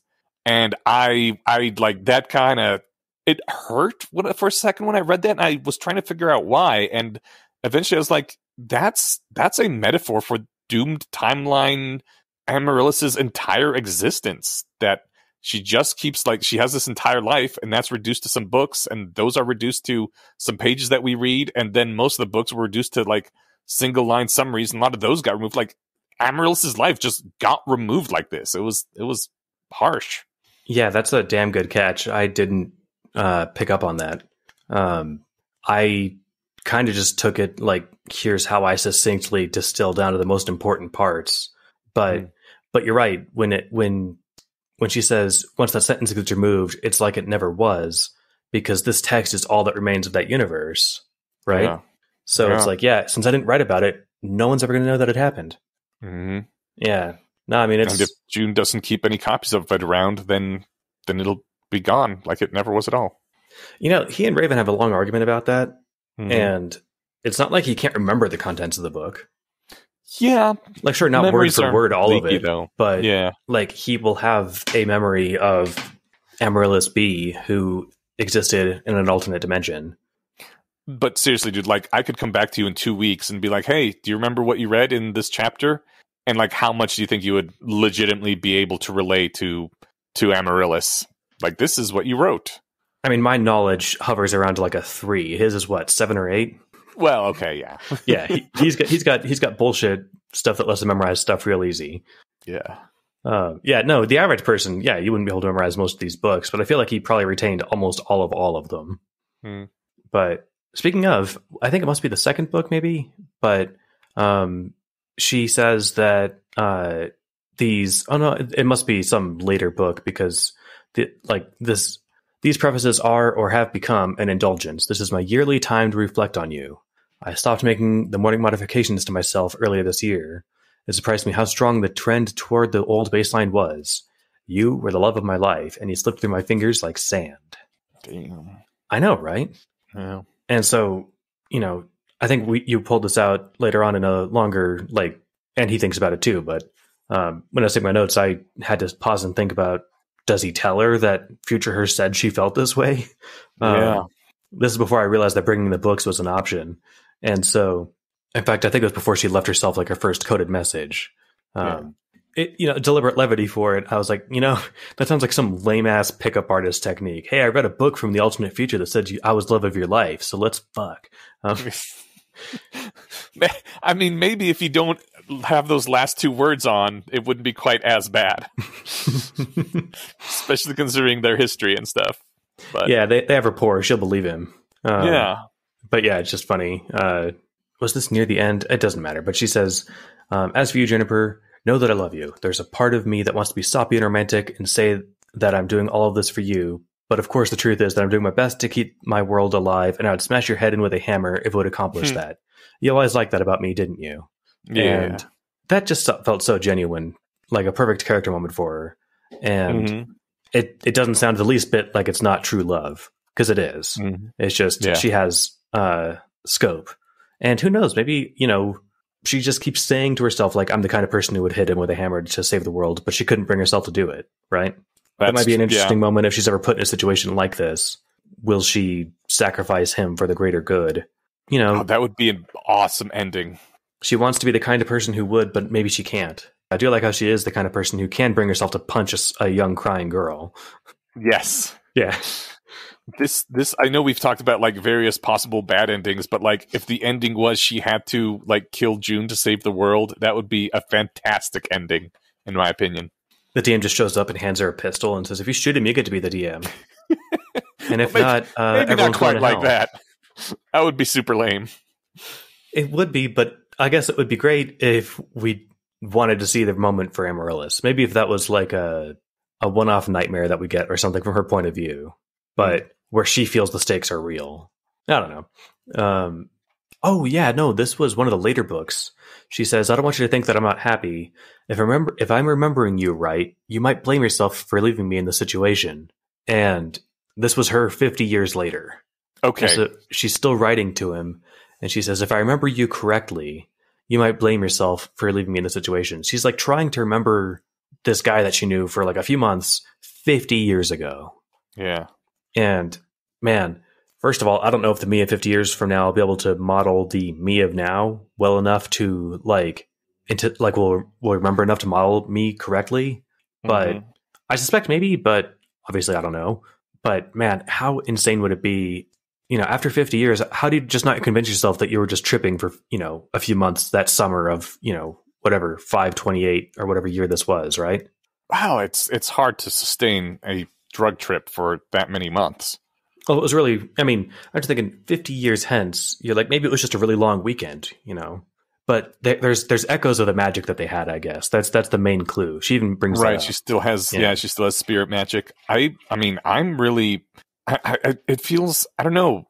It's depressing that 50 years after the fact she still thinks of him as like the love of her life this person that she knew for a few months and i mean i i i can see that. They're they're i don't know like you you never fully get over anyone right? It just doesn't hurt as much but but man that's still kind of depressing that she's still that hung up on him after all this time. On the other hand, she is like writing these things to him every year, and everything she's doing in this universe is explicitly for him. Like he's got to be on her mind constantly. It's not like she got much of a chance to get over him. The other thing too is that I think there our impression that she just was essentially asexual before until mm-hmm. she either talked herself into trying to love him or the DM nudged her. Yeah, But I don't think that like she turned down other opportunities for true love just because she was hung up on this kid she knew when she was a teenager. Right. I think that I mean, she's been with Pallida for like ten years. It sounds like before they broke up. Oh, I didn't remember the breakup part, but the oh yeah, she left. I think yeah, Mhm. but um, you know, I think that it was uh like she only ever had feelings for one person, right? So like if I- she if, if she turned on her emotions again that let her have feelings or love, it would only be for the one person, and it was Joon. Like maybe it just wasn't a generalized thing for her, Yeah, yeah, it's true. but it is. It makes me think of Wonder Woman. You know, she's all hung up on uh, Chris Pine. Yeah, she knew him for a few days several decades ago. Right? At least Amaryllis has an excuse. You know, she's her entire world still revolves around Juniper. yeah, yeah. It's a and he's a more remarkable person than uh, Fucking Chris Pine. yeah. I think I his mean, name's he's- also Steve in that in those movies. And given Okay. that he does the exact same thing that Steve Rogers does in Captain America, um, Except without the living through it part. right? Except for that. it's a, yeah. anyway um yeah i don't know looking back on this life uh is weird yeah i well we'll well let's push through and then i've got a couple questions at the end here so Sure. Uh, so she also mentions in this uh, final book of hers that the timeline isn't just doomed, it's been abandoned by the closest thing to a true god we ever had. Like she talks about how not only did the threats stop coming and escalating, it just kind of seems like the DM lost interest and wandered away and let the world continue on. And I mean, I think that's literally exactly what happened. And like, geez, it's it's kind of got to suck to be abandoned by God just just a few months after you discovered that God actually does exist and does care about what happens. But I also think that this is like more evidence for the idea that um, the DM just let the simulation run and then took all the books that were written in the simulation and dumped them into the into Joon's Infinite Library because like he's not going to sit around and pay attention to that game and interact with it when Joon's not there. So he just like let it run without his presence and and the people who knew that he had been there could tell the difference that now there was no god. yeah on the plus side he stopped throwing monsters at him Yeah, I mean that is the plus side. Yeah It just has But- to feel mm, yeah no I, I i i hear you though i mean i on the one hand i'd be relieved that the dm finally found something better to do than torture us but mhm. it would be It would be like being abandoned by an abusive parent while you're still a kid. Like at least you aren't getting the beatings now by the parent, but on the other hand, you're a kid and the parent just fucking left. I haven't been through that kind of childhood, so I'm not clear to speculate. Maybe I'd just be glad they're gone. But Like Mm. it'd be kind of like learning that there was an actual god of our universe, and then he's like, "Eh, I'm bored. I'm gonna go somewhere else." And you're like, Yeah. "But what? What about us?" Like, Yeah. Yeah. you know, that that would be that stopped me in my tracks. It's weird. Yeah. Um, Yeah. yeah, Bethel. So the backpack works. I, oh yeah, so that's like um uh the this might be like the fifty year later one. I forget, but um the only sign that the dungeon master, the only sign that he ever existed, is the fact that Bethel's backpack magic still works and that they still have some of the soul synergy magic. hmm Um and but like Mhm. the the functionality is stale. You know, so like rather than getting back like custom notes or whatever, if they tried to grab a book from 2020, it's just a boring no on legal pad. Um, Yeah, it feels very Like- much like just a quick look up and then rejection. it's just or- a scripted response. Yeah. Yeah. If thing after this date, respond with no. yeah, exactly. Yeah. None of this like ah ah ah. You didn't say the magic word. Like I could totally see him doing that with a picture of Newman, right? Yeah, right. The so we do find out that the way the world ultimately ends is that the void beast uh, eats it. It makes way to makes its way to Aerb eventually. Uh, they did try to they stalled it for quite a long time, redirecting it to other planes of existence. Sixteen of the elemental planes were completely I don't know.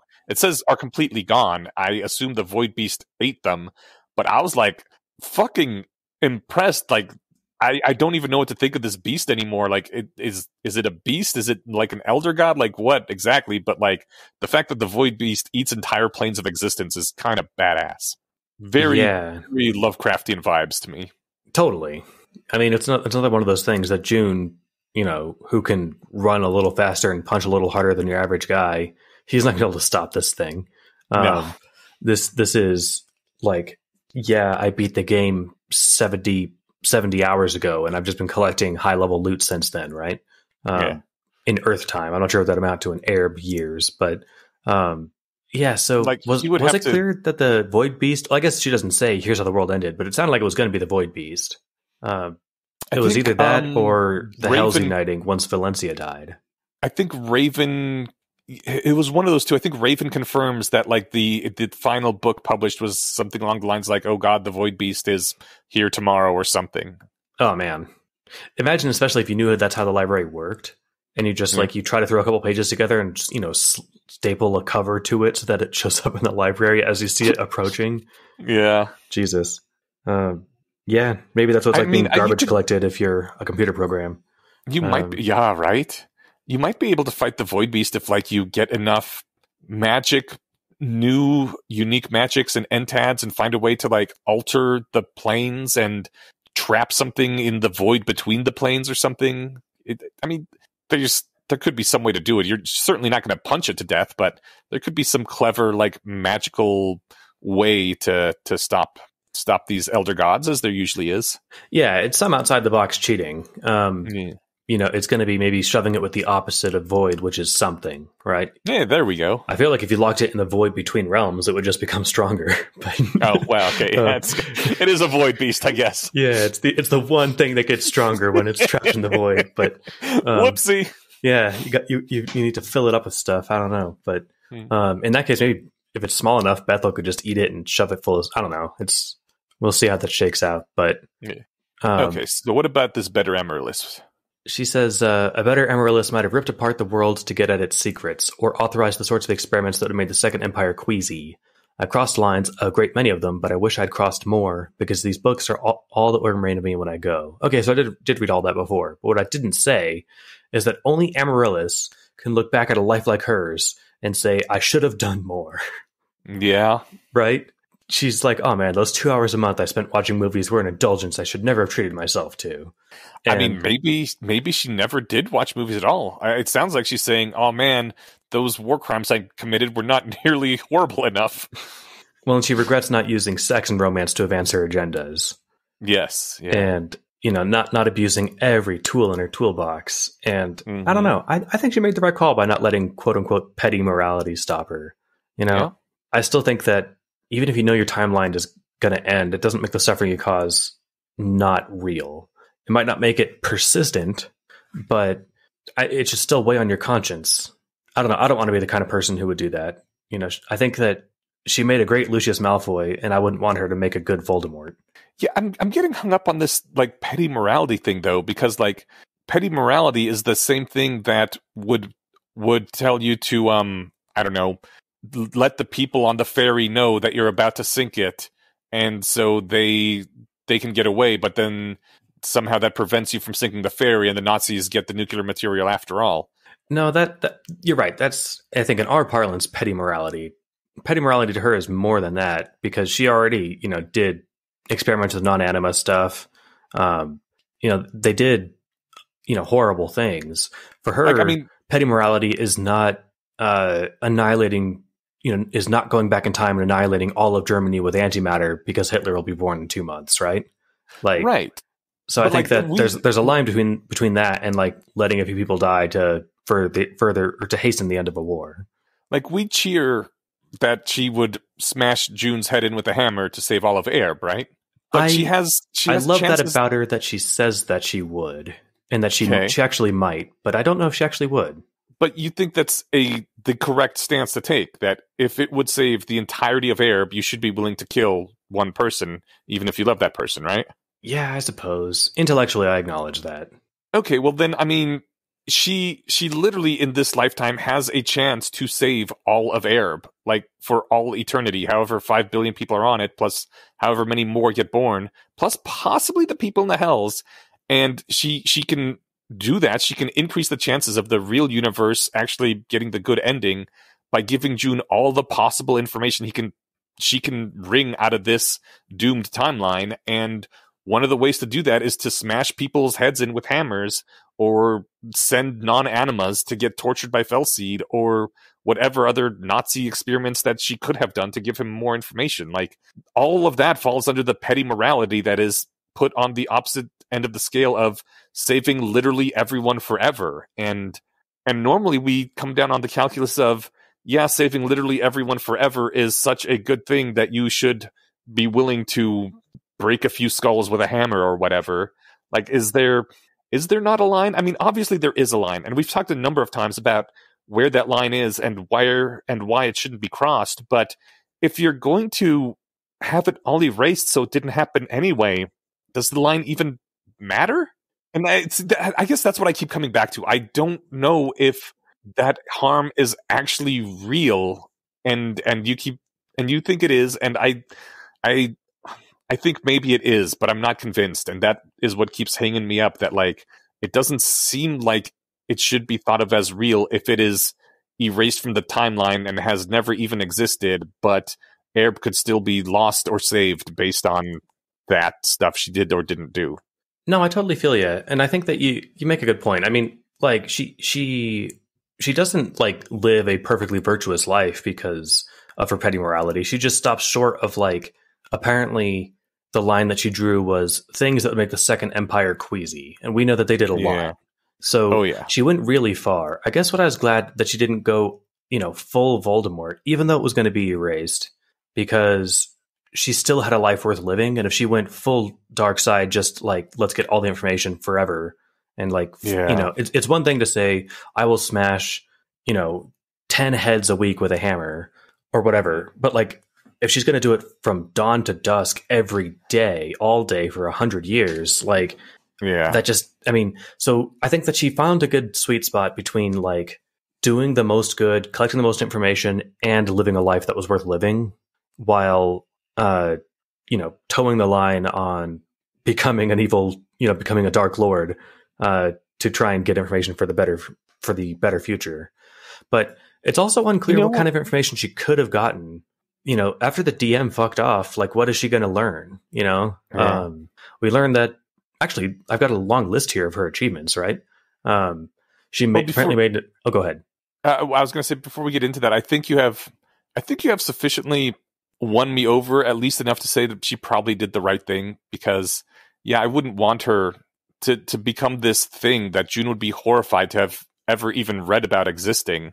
And plus, also, I wouldn't want this to be used as justification nowadays for people to be like, "See, this is why we must impose martial law right now and and do these horrible things to people because the fate of the future depends on it." Like, I you know that's that's been used to justify absolutely horrendous things in the past and and I know that there's always a little bit of risk of someone internalizing too much from fictional evidence. So, so I think I think you have made a a good point, and I'm just still kind of strung up on my own inability to find meaning in stuff, and this this kind of thing always like inflames that that uh that old wound in me, or not wound, but you know that that thing. Yeah, sore spot. One of these days, yeah, yeah. I want you and I to sit down and talk about it because I, I don't have a, you know I can't tell you the meaning of life, but I somehow go through life without worrying about it. And it, then again, I don't want to force you to talk about it because it's staring at something scary. But um, I would literally love to talk with you about it, especially if we have a recorder running somewhere, so it's in Patreon content.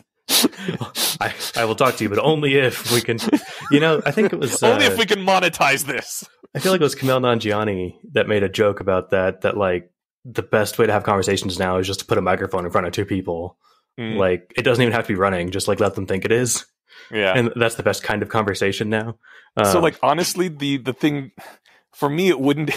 So this this just goes to show how deep my damage goes. Uh, for me, the recording it wouldn't be for any sort of material, uh, mon- monetary reward because I mean, I, I, love our patrons and they do help us. It really is appreciated, but it's not like a huge amount of money. It would be far more the thing that like if this is recorded and put somewhere where some people online can access it, it matters more and it is more meaningful because like if it's just me, who cares? I'm going to die. I'm going to forget whatever. But if it is recorded and put out there forever, then there, there must be some meaning behind it. So I would love to have a conversation and I would love to have it even more so if it was a enshrined in stone meaningful thing, you know? So I, I'm fucked up. I'm sorry. No, no, no. I don't think it's necessarily fucked up to think that something that has more persistence than, you know, the memory of whatever a conversation you had a month ago, right?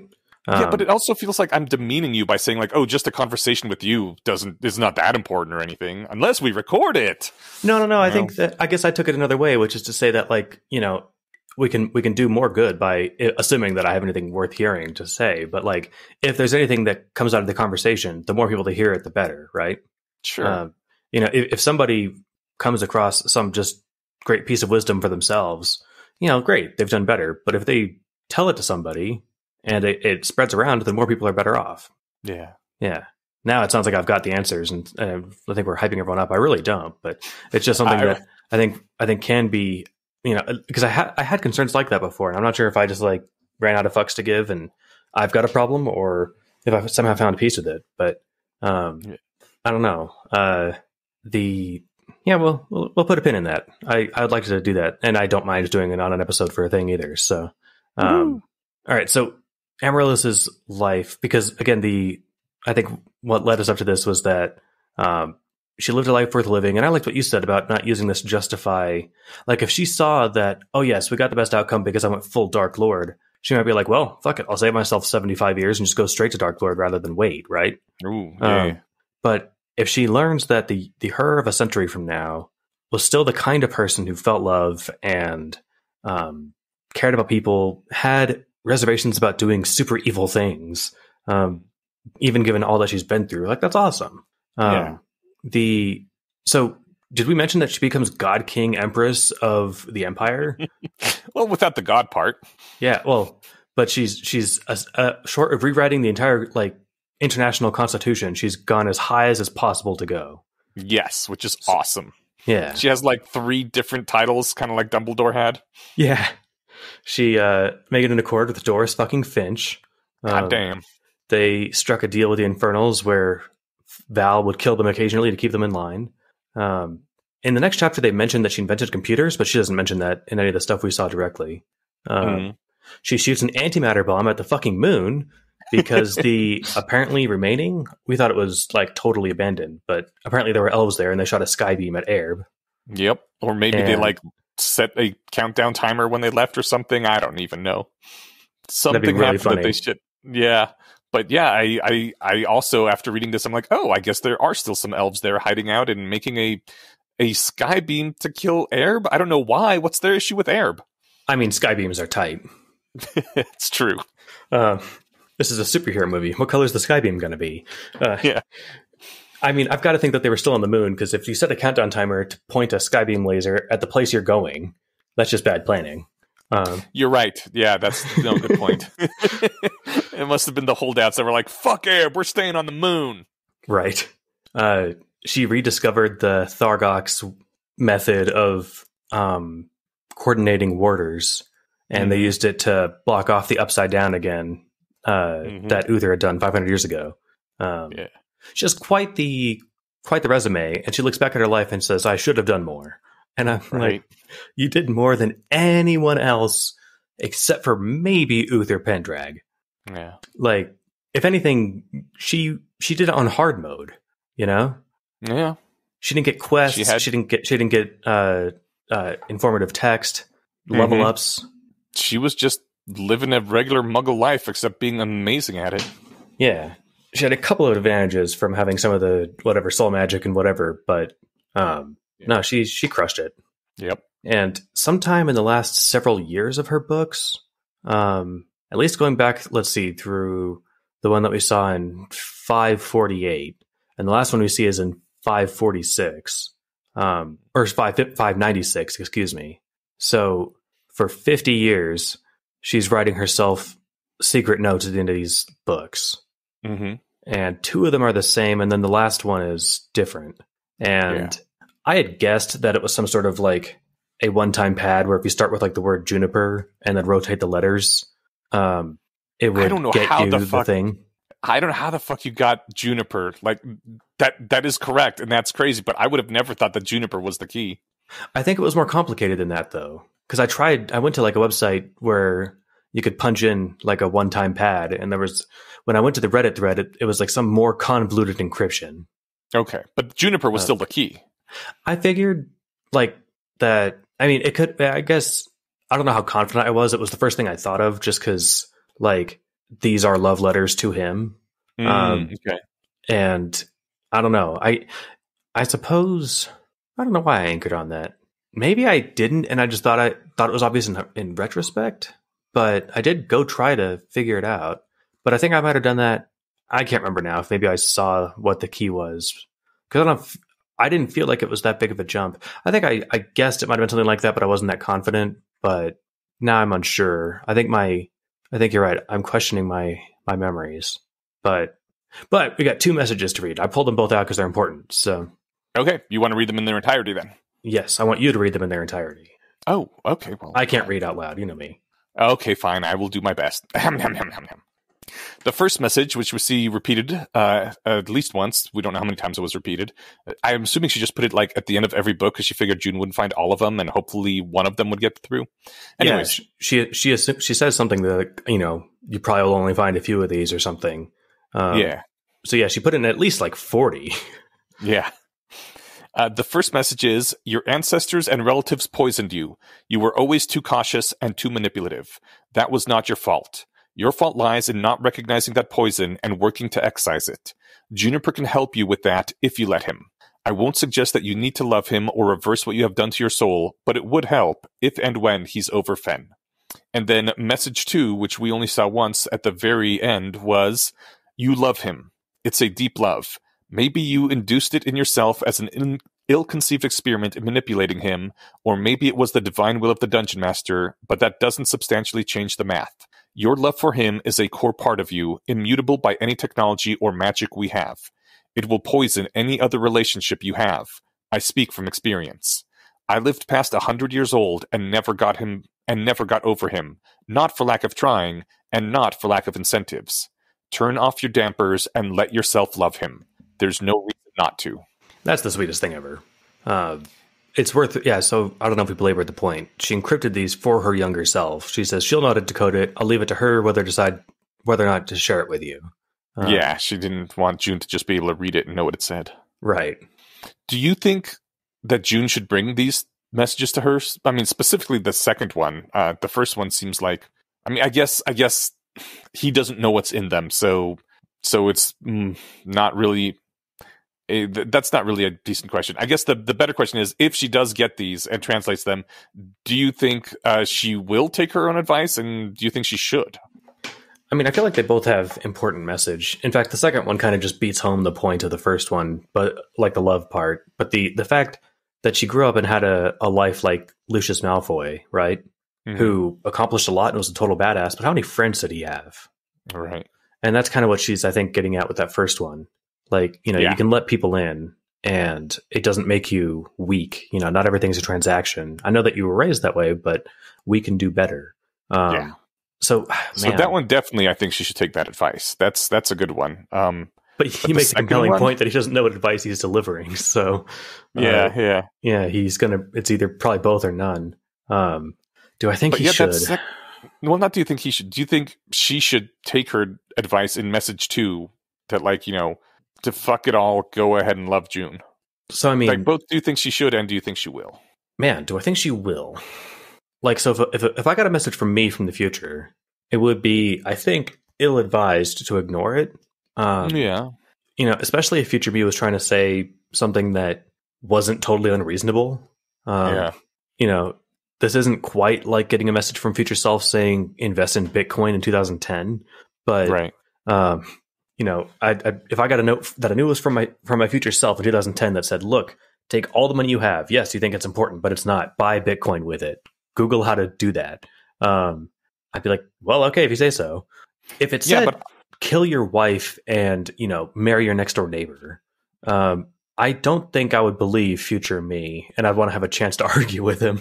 well, but here's here's this advice question: isn't that nutter butters. Is there any advice that you would right now want to give to your past self, which you know your past self would reject? Um, depends how far back we go. Man, this would have been great to think about before I was put on the spot. um, Sorry. no, no, you're good. I mean, like all the advice is things that like I wish were different now, but like those aren't things that younger me would have disagreed with. Like I don't know, um, find some way not to hurt your back. Uh, Yeah, yeah. you know, get ahead of a few things that might have been better handled if you had like a better time jump on them or something. Um, but there's nothing that like because I haven't looked back at my life yet and realized I was doing something terribly wrong. Like, I Um, mean, I I would probably want to tell my past self stuff like, you know, that whole socialism thing you're on is really dumb and actually kind of uh kind of harmful. And my past self would have been like, holy fuck. What happened to me that I became that corrupted and evil in the future? you know, like I, I know that is something that I would like to tell my past self, but my past self would reject it absolutely. I don't think young me had strong uh, political convictions, so I wouldn't be mind killed that way, or I wouldn't have to try to mind assassinate myself that way. Um, But I know I know what you're saying. I I certainly hope I don't, because now I'm getting you know further along and stuff. I I hope I don't realize at 80 that I was doing something terribly wrong this whole time. Um, Right. You know, I we can try and get ahead of this, right? Imagine you 50 years from now. What will your future self tell you? Um, Well, I mean, that's the problem. If I was teenage me and imagine me in 50 years, I'd be like, yeah, I'm kind of like a old Green Arrow from uh, Dark Knight Returns, where he's just a very old socialist fighting fighting against the man and for the proletariat. And and then I would try to imagine the the advice that that kind of person would give me, but I would have been very wrong yeah, good point. because I I, mean, know. it hasn't even been 50 years; it's been like 20, 25.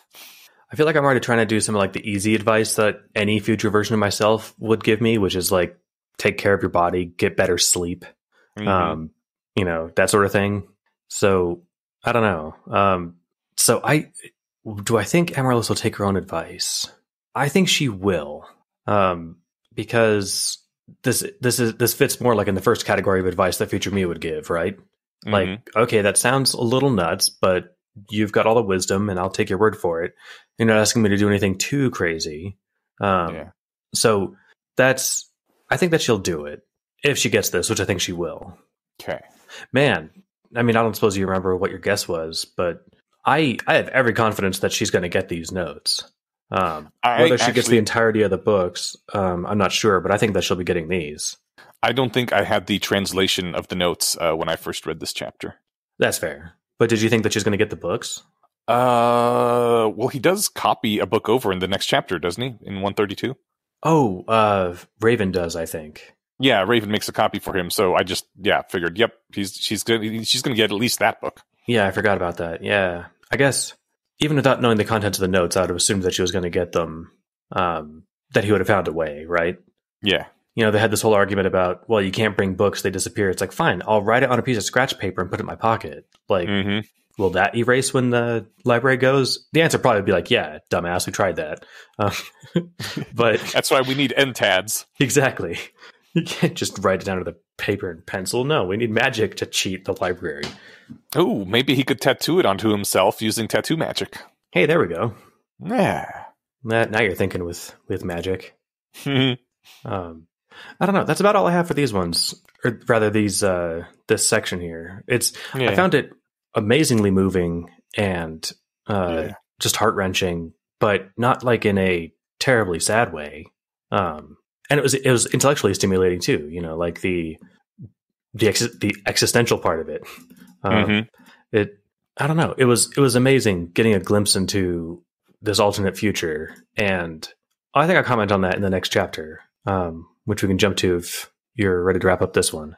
You said you had something to ask me. Was that like at the end of this episode, or did you Oh, want to hit it now? I had something to ask you.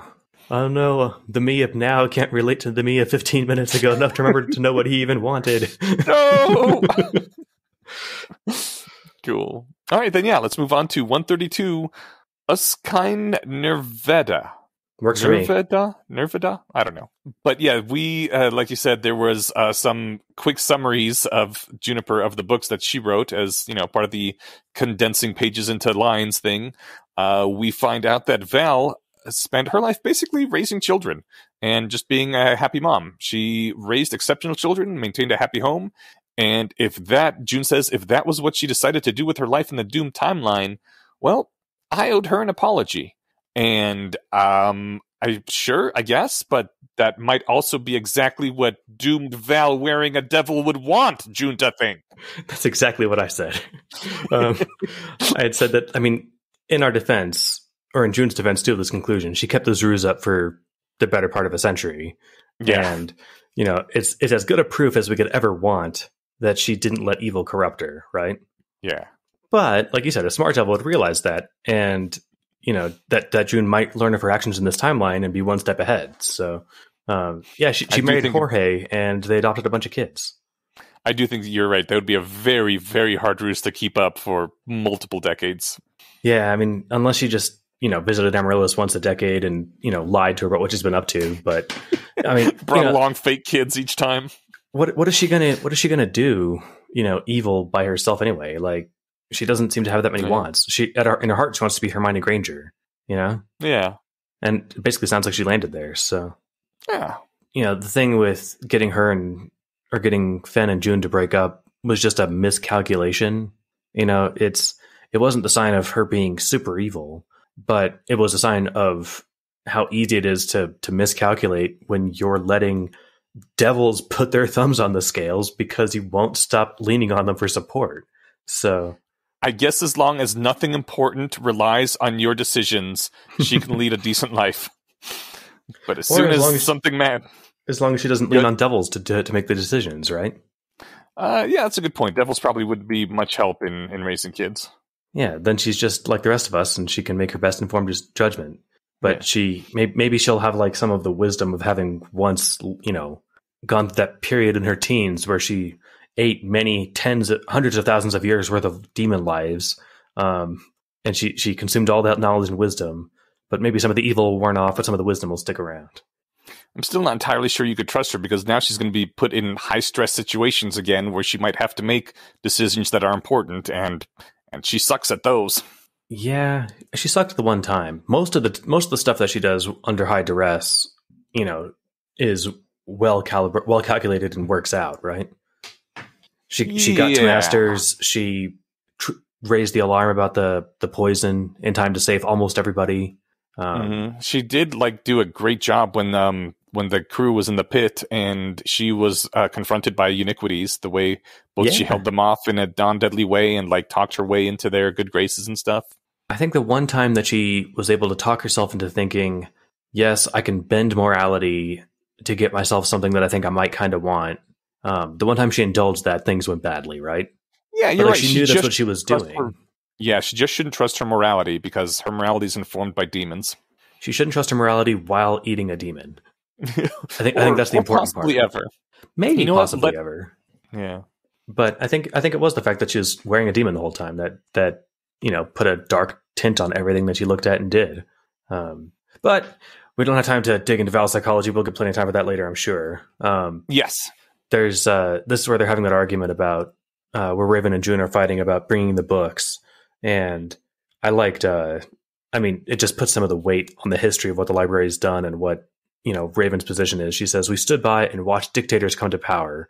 We stayed silent after unearthing heinous crimes against the mortal species. We've seen plagues rip through communities and done nothing because they aren't important enough. We have our priorities in place. We're not going to bend for her." And you're right, very MIRI, right? Yeah. Um, it's like, yes, look, that all matters. And yes, we didn't put all of our effort into uh, curing malaria, even though we knew we could have if we did that for 50 years. No, we had bigger fish to fry. Yeah. Um, and Joon, his reply, he says, You don't control me. I'm not a part of your chain of command. And he's finally playing his, like, all right, look, I'm the God protagonist of this story, right? yeah. And you can't boss me around. And then she's like, "Well, look, you know, I don't really have to. The point is, you can't do this by yourself. You can't bring the books out. So, Suck it. Yeah. I don't. I don't have to be your boss. The, the universe will tell you to get fucked. Yeah. It's every now and then you do need other people's help, even if you are Joon. exactly. Yeah. She she points out that um that uh, Amaryllis should not read those books. She says uh, that you want her time to have been worth something. I understand that uh, because Amaryllis does say several times in the books that like my entire life means nothing except for these books, and if you don't find them, this entire existence meant nothing.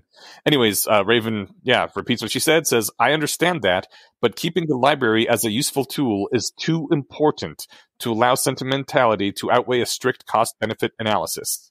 And I I thought about this for a sec. I think Raven's right because Joon is on his only playthrough, really. Like all that matters to him is becoming God and fixing the world and resing Arthur and Fenn. And it's like an all or nothing thing for him. Uh, but for everyone else, like they're more concerned about keeping the world existing than Joon's personal crusade at godhood. Like if Joon fails, then for them it's just another dead false messiah dude that died. Uh, they still want to have a functional library so they can keep uh, preventing the world ending, so they can keep things worse than uh, plagues ripping through humanities uh, communities happening.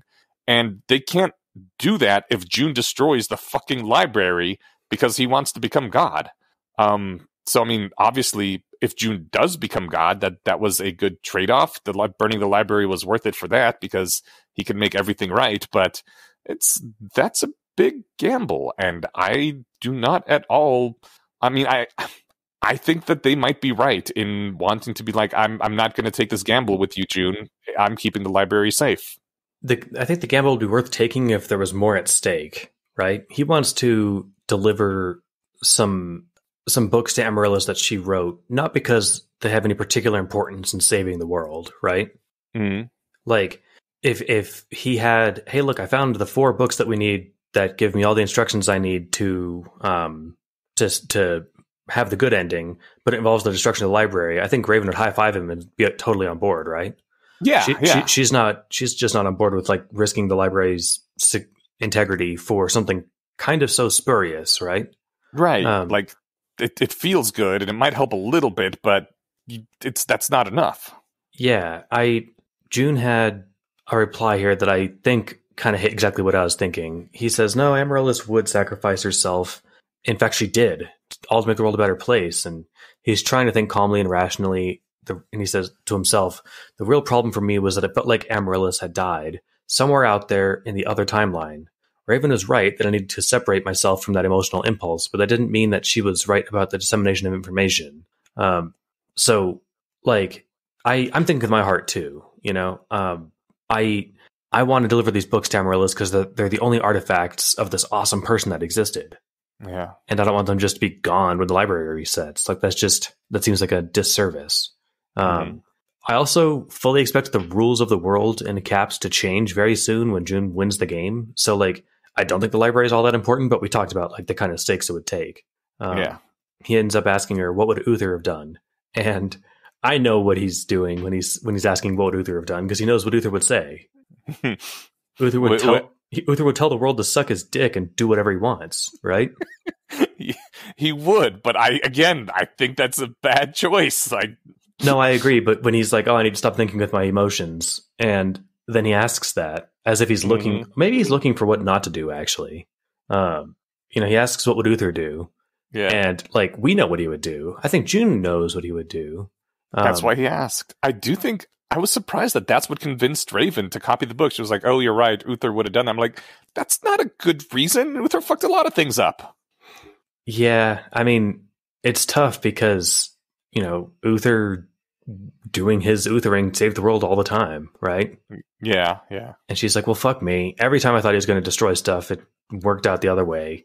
So maybe it was that, but I thought maybe Joon might have been asking for like, okay, what not to do? What did Uther do? But you're right; Mm. it was kind of just like a cue of, I think it was little column A, little column B. He wanted to have his way, knew that asking what would Uther do would give him the answer he wanted, but also he could talk himself into believing that, oh, okay, it actually makes sense to do what Uther would have done, Yeah. even though I have no good reason to believe that my playthrough is like his.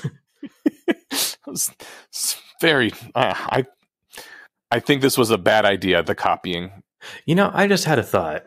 Hmm. Joon is playing on whatever Diamond Hardcore Iron Man mode. Yeah.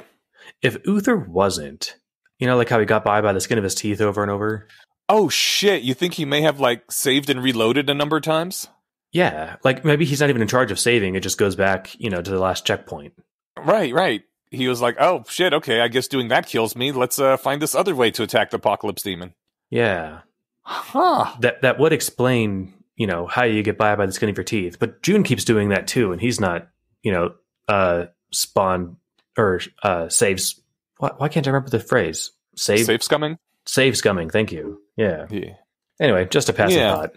No, no, that's that's a good thought. That perhaps that is the case. If when Joon And and Arthur would- talk about the game at the end, and he's like, "Yeah, how wild is it that you know that reload from checkpoint thing?"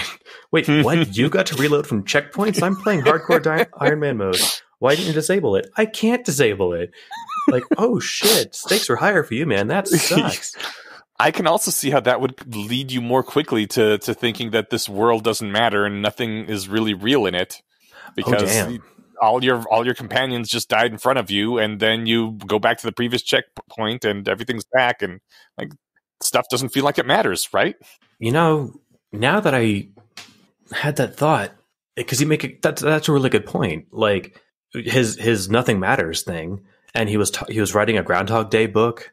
Like Mm-hmm. it seems because his life was cyclical. But if a lot of his time was spent Groundhog Daying, um, man, yeah, I, it would be impo- That would be exactly the kind of thing that would take to convince me that, like, okay, yeah, this is all fake, right? Dude, and could I you mean- imagine like going up to one of your companions and like asking them the same question and then having the exact same conversation where they just say the same things they did before? And you'd be like, what the fuck? Are you, is this just a script in a computer somewhere?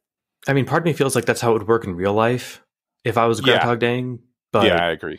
it would still. I get how that would like kind of shatter your your. It, it, it would crack put cracks in your Your- you know what? What if he did that, but Vervain didn't always give the exact same answers? oh And he was like, wait a fucking minute here. that would be that was that was the clue that would have been awesome Hey. I can see that. Yeah, because I mean, frankly, too. Imagine you're the DM, you know, the guy who wears sneakers and a Mister Dice Guy hoodie, right? Mm. You're hang- you're palling around with Uther for forty years. Eventually, you're going to be like, wouldn't it be kind of more fun if I shook things up a little bit and he, you know, if I stopped playing the old wizard and kind of like clued him in just to just to shake things up a little bit? Mhm. Um, that's exactly what he would do. You know, on, on, on a ton of his save scumming attempts to kill stuff, you know, Vervain, you know, politely recited the lines over and over and whatever. And then it's like, okay, to I'm gonna, spook his poopers a bit. yeah, I, I'm gonna have a different breakfast this morning and see if Uther notices, right? Yeah. Oh yeah, Uh, did you ever play Undertale? uh, no, but I'm familiar with it. Okay. Well, uh, a, a sort of has something like that in one part of it. So that, that just reminded me of that. It was a fun game. Anyways, n- neither here nor there, especially since you haven't played it. I, I, I mean, I've seen most of a playthrough. I just realized that it wasn't for me. Um, Okay. I think because I got all the things out of it from learning about it. You know, apparently, if you do a genocide run, the game never forgets, even if you start a new file. Yeah. Which is kind of interesting and maybe metaphorical for the book. Uh, Yes, that, that, is what I was thinking of. Yeah, oh, nice. Yeah. yeah, that it Um, remembers the things you did from game to game, Which seems like you we'll, know not like, fair. I should get a, I should be a clean. This should be a clean slate, right? right? But no. Yeah. Um, I think one of the things that convinces Joon that like, and I can't remember exactly how this came down, but the line of uh, he says that you know if she really had done all that without the help of future knowledge, then it was arguable that she didn't really need information from the future. Hmm. And I meant to mention that earlier in, in my notes because I'm like, you know, she figured out all the stuff out before you could even just tell her about it. You don't need to give her her books to tell her like the the useful bits, right? Yeah, You come back and you write some stuff down before you forget. Like, yeah. um, but I, Although I it might help her speedrun it a bit. it might, yeah. But uh, you can still do that without bringing the physical books. But I, I think like the downside was just purely emotional. Like I said, these are the these are the artifacts of an amazing person who won't get to exist because that timeline is going to get canceled. Yeah, So, um, I've got a uh, a line here. He's this is I I'll quit doing all the talking. I realized I pulled out more notes here, but um, more than my share of notes in this chapter anyway. But he's sitting there. All right. So what happens with the end of the Raven stuff? Uh, you tell me. I- uh, vaguely. she basically she copies the book for him, and he's like, "Cool, thanks. I'm gonna work on my soul, uh, get working the spirit magic here because we're running out of days until the next reset, and I would like to get that taken care of before the reset." So he starts working on uh, unlocking spirit magic with that's this right. book that they found. Yeah, that's the the title name. And uh, yeah, I forgot that they they've got a clock because shift change is going to happen. Um, Mhm. So, uh, you know, while that wouldn't mean the end of his ability to keep using the library, it would mean like, do you want to stick around for another two weeks or do you want to like get out of here? Um, yeah, and they'd have to actually- start over finding the new schema, schemata and find where the book is again, and yeah. I guess we'll learn when he goes back to Aerb. But like, is two weeks in the library two weeks on Aerb? I guess we'll find out. Because certainly a lifetime on Aerb isn't two weeks in the library. Um, Yeah. I guess, yeah, I wonder if he'll come back the second that he left. If that's the case, they should hang out here for weeks, months, years. So there's got to be some sort of time that he's gone. Right. Um, okay, yeah. Um, anyway, he's thinking about if you altered one part of the soul, it would eventually drag itself back into alignment or coherence. Though the guy who knew most about that, oh, what those precise terms had meant, regrettably, died before he could give me an in depth theory. Mhm. And I just liked the regrettably. Regrettably. All right, All so right. they talk a lot. Uh, basically, the rest of the chapter is telling us what spirit is. And uh, Stephen, you seem to have a much better understanding of this than I do. So, what the heck is spirit? Um, the rest of the chapter is about trying to tell us what he thinks spirit might be. Uh, Yes. we don't get the the real answer, I guess, until the end when he levels up. I'll have to reread that part um, because he does actually unlock it. But uh, no, it just says he had a, glim- a glimmer of perspective. That's what unlocks it. So we don't we don't get a solid answer. Um, Yeah. he has a uh, a line about um, if the soul was the database, then the spirit was the collection of queries that accessed the database or made some stored functions. I think it's I think it's everything. Um, Okay. But the thing is, like we've seen him Every do, function that can interact with the database. and maybe other stuff. Um, it might just be database stuff, but like then that makes it almost kind of useless. You know, look, Okay. you you don't you can automate the boring part of your morning where you scroll your level up desire back down, right? Mhm. like if all it did was let you rewrite you know the if it was the number changer thingy um the soul number changer then all it would do is be special for people like Joon you know who Yeah. get a compulsive desire to level up every time they level up like Well, it- I mean, if it's you not can impossible change, that a branch of magic exists just for him but yeah. yeah But but other people did use it. It said historically, and if you can change the thing that changes your soul, that you can means you can indirectly change your soul, right? And also, like I, I know a lot of people are like, I want to want something. This this feels like the thing that would allow you to change what you want to want. You know what I mean? Yeah, but you can you can kind of already do that with soul magic. And so it got me thinking of like so for the longest time because I spent like 2 days trying to think of well not you know, I didn't put the book down for 2 days, but I spent a while thinking about soul magic in the background and then paused several times throughout this to sit and take breaks, but the um it makes it sound like I'm more competent at my job than I actually am. But when he mentions uh like stored functions versus just data, I'm like, okay, I can follow this analogy, right? Hmm. Like changing data is um and I don't think it's just hindsight, like kind of obvious what sort of functions might like what the functions might do. Um, but the thing is, like he already does that with soul magic. You know, you can you can change how much somebody likes Oreos. Um, and I think Molitor even said that changing memories is possible. So maybe Solitor was also a spirit mage, but um, if he wasn't, and that's all soul stuff, I think what at least one thing spirit can do. Maybe Molitor was a spirit mage, and that's how he could do memory business. But Joon said he could read people's memories, and he just doesn't. So he's at least halfway there. Um, yeah. No, I think I think what it does is like because I, I, guess what the reason I wanted to belabor this because I had like this fun insight because I kept trying to think of like, all right, what is this whole new thing that spirit might do? And then I realized that why did it have to be that way? Like a lot of the stuff he unlocks with skills is stuff that he can already do. He just now does it with perks. Mm-hmm. And so, you know, like he's got he's got a, a medium armor skill, right? He can wear armor. Yeah. But now he can wear it without it whatever incurring any penalties. Right, Um, right.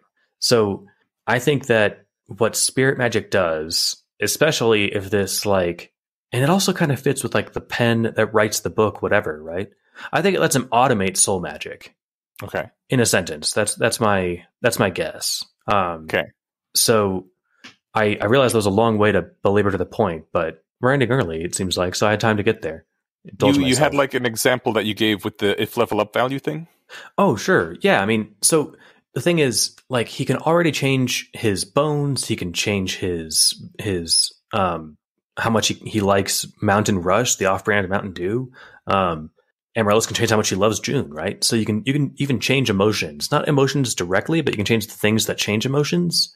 Mhm. Um, so anyway, in addition to doing those, I think like if you can just like write a little script in your head that says if level up value greater than 10, level up value equals zero, right? Mm-hmm. And if that's just a constant running loop, then when you level up and you apparently want to go rampage, then it's not a big deal. Right, because it automatically drops it back to zero. Exactly. And what's this about infinite burns, infinite bones? Oh, yeah. So he has to go to his soul if he uses bones to copy, you know, say the bones from his left arm to his right arm so he can use them again, right? Mm-hmm. if you can also write a script that just says every in this probably be the kind of thing that goes up with your spirit magic level but how often you can whatever repeat the the scripts because if it's every second then you've got infinite bones you know more than you could ever use in a second but if it takes 10 minutes to run you're still on kind of a limit that is impeding um, okay, so it like checks if bone is burned, then copy over bone from left side or whatever. yeah why not Yeah, no, that's that's a fair point. That could work. if that's If how this this is what it if that's how spirit magic works yeah Yeah.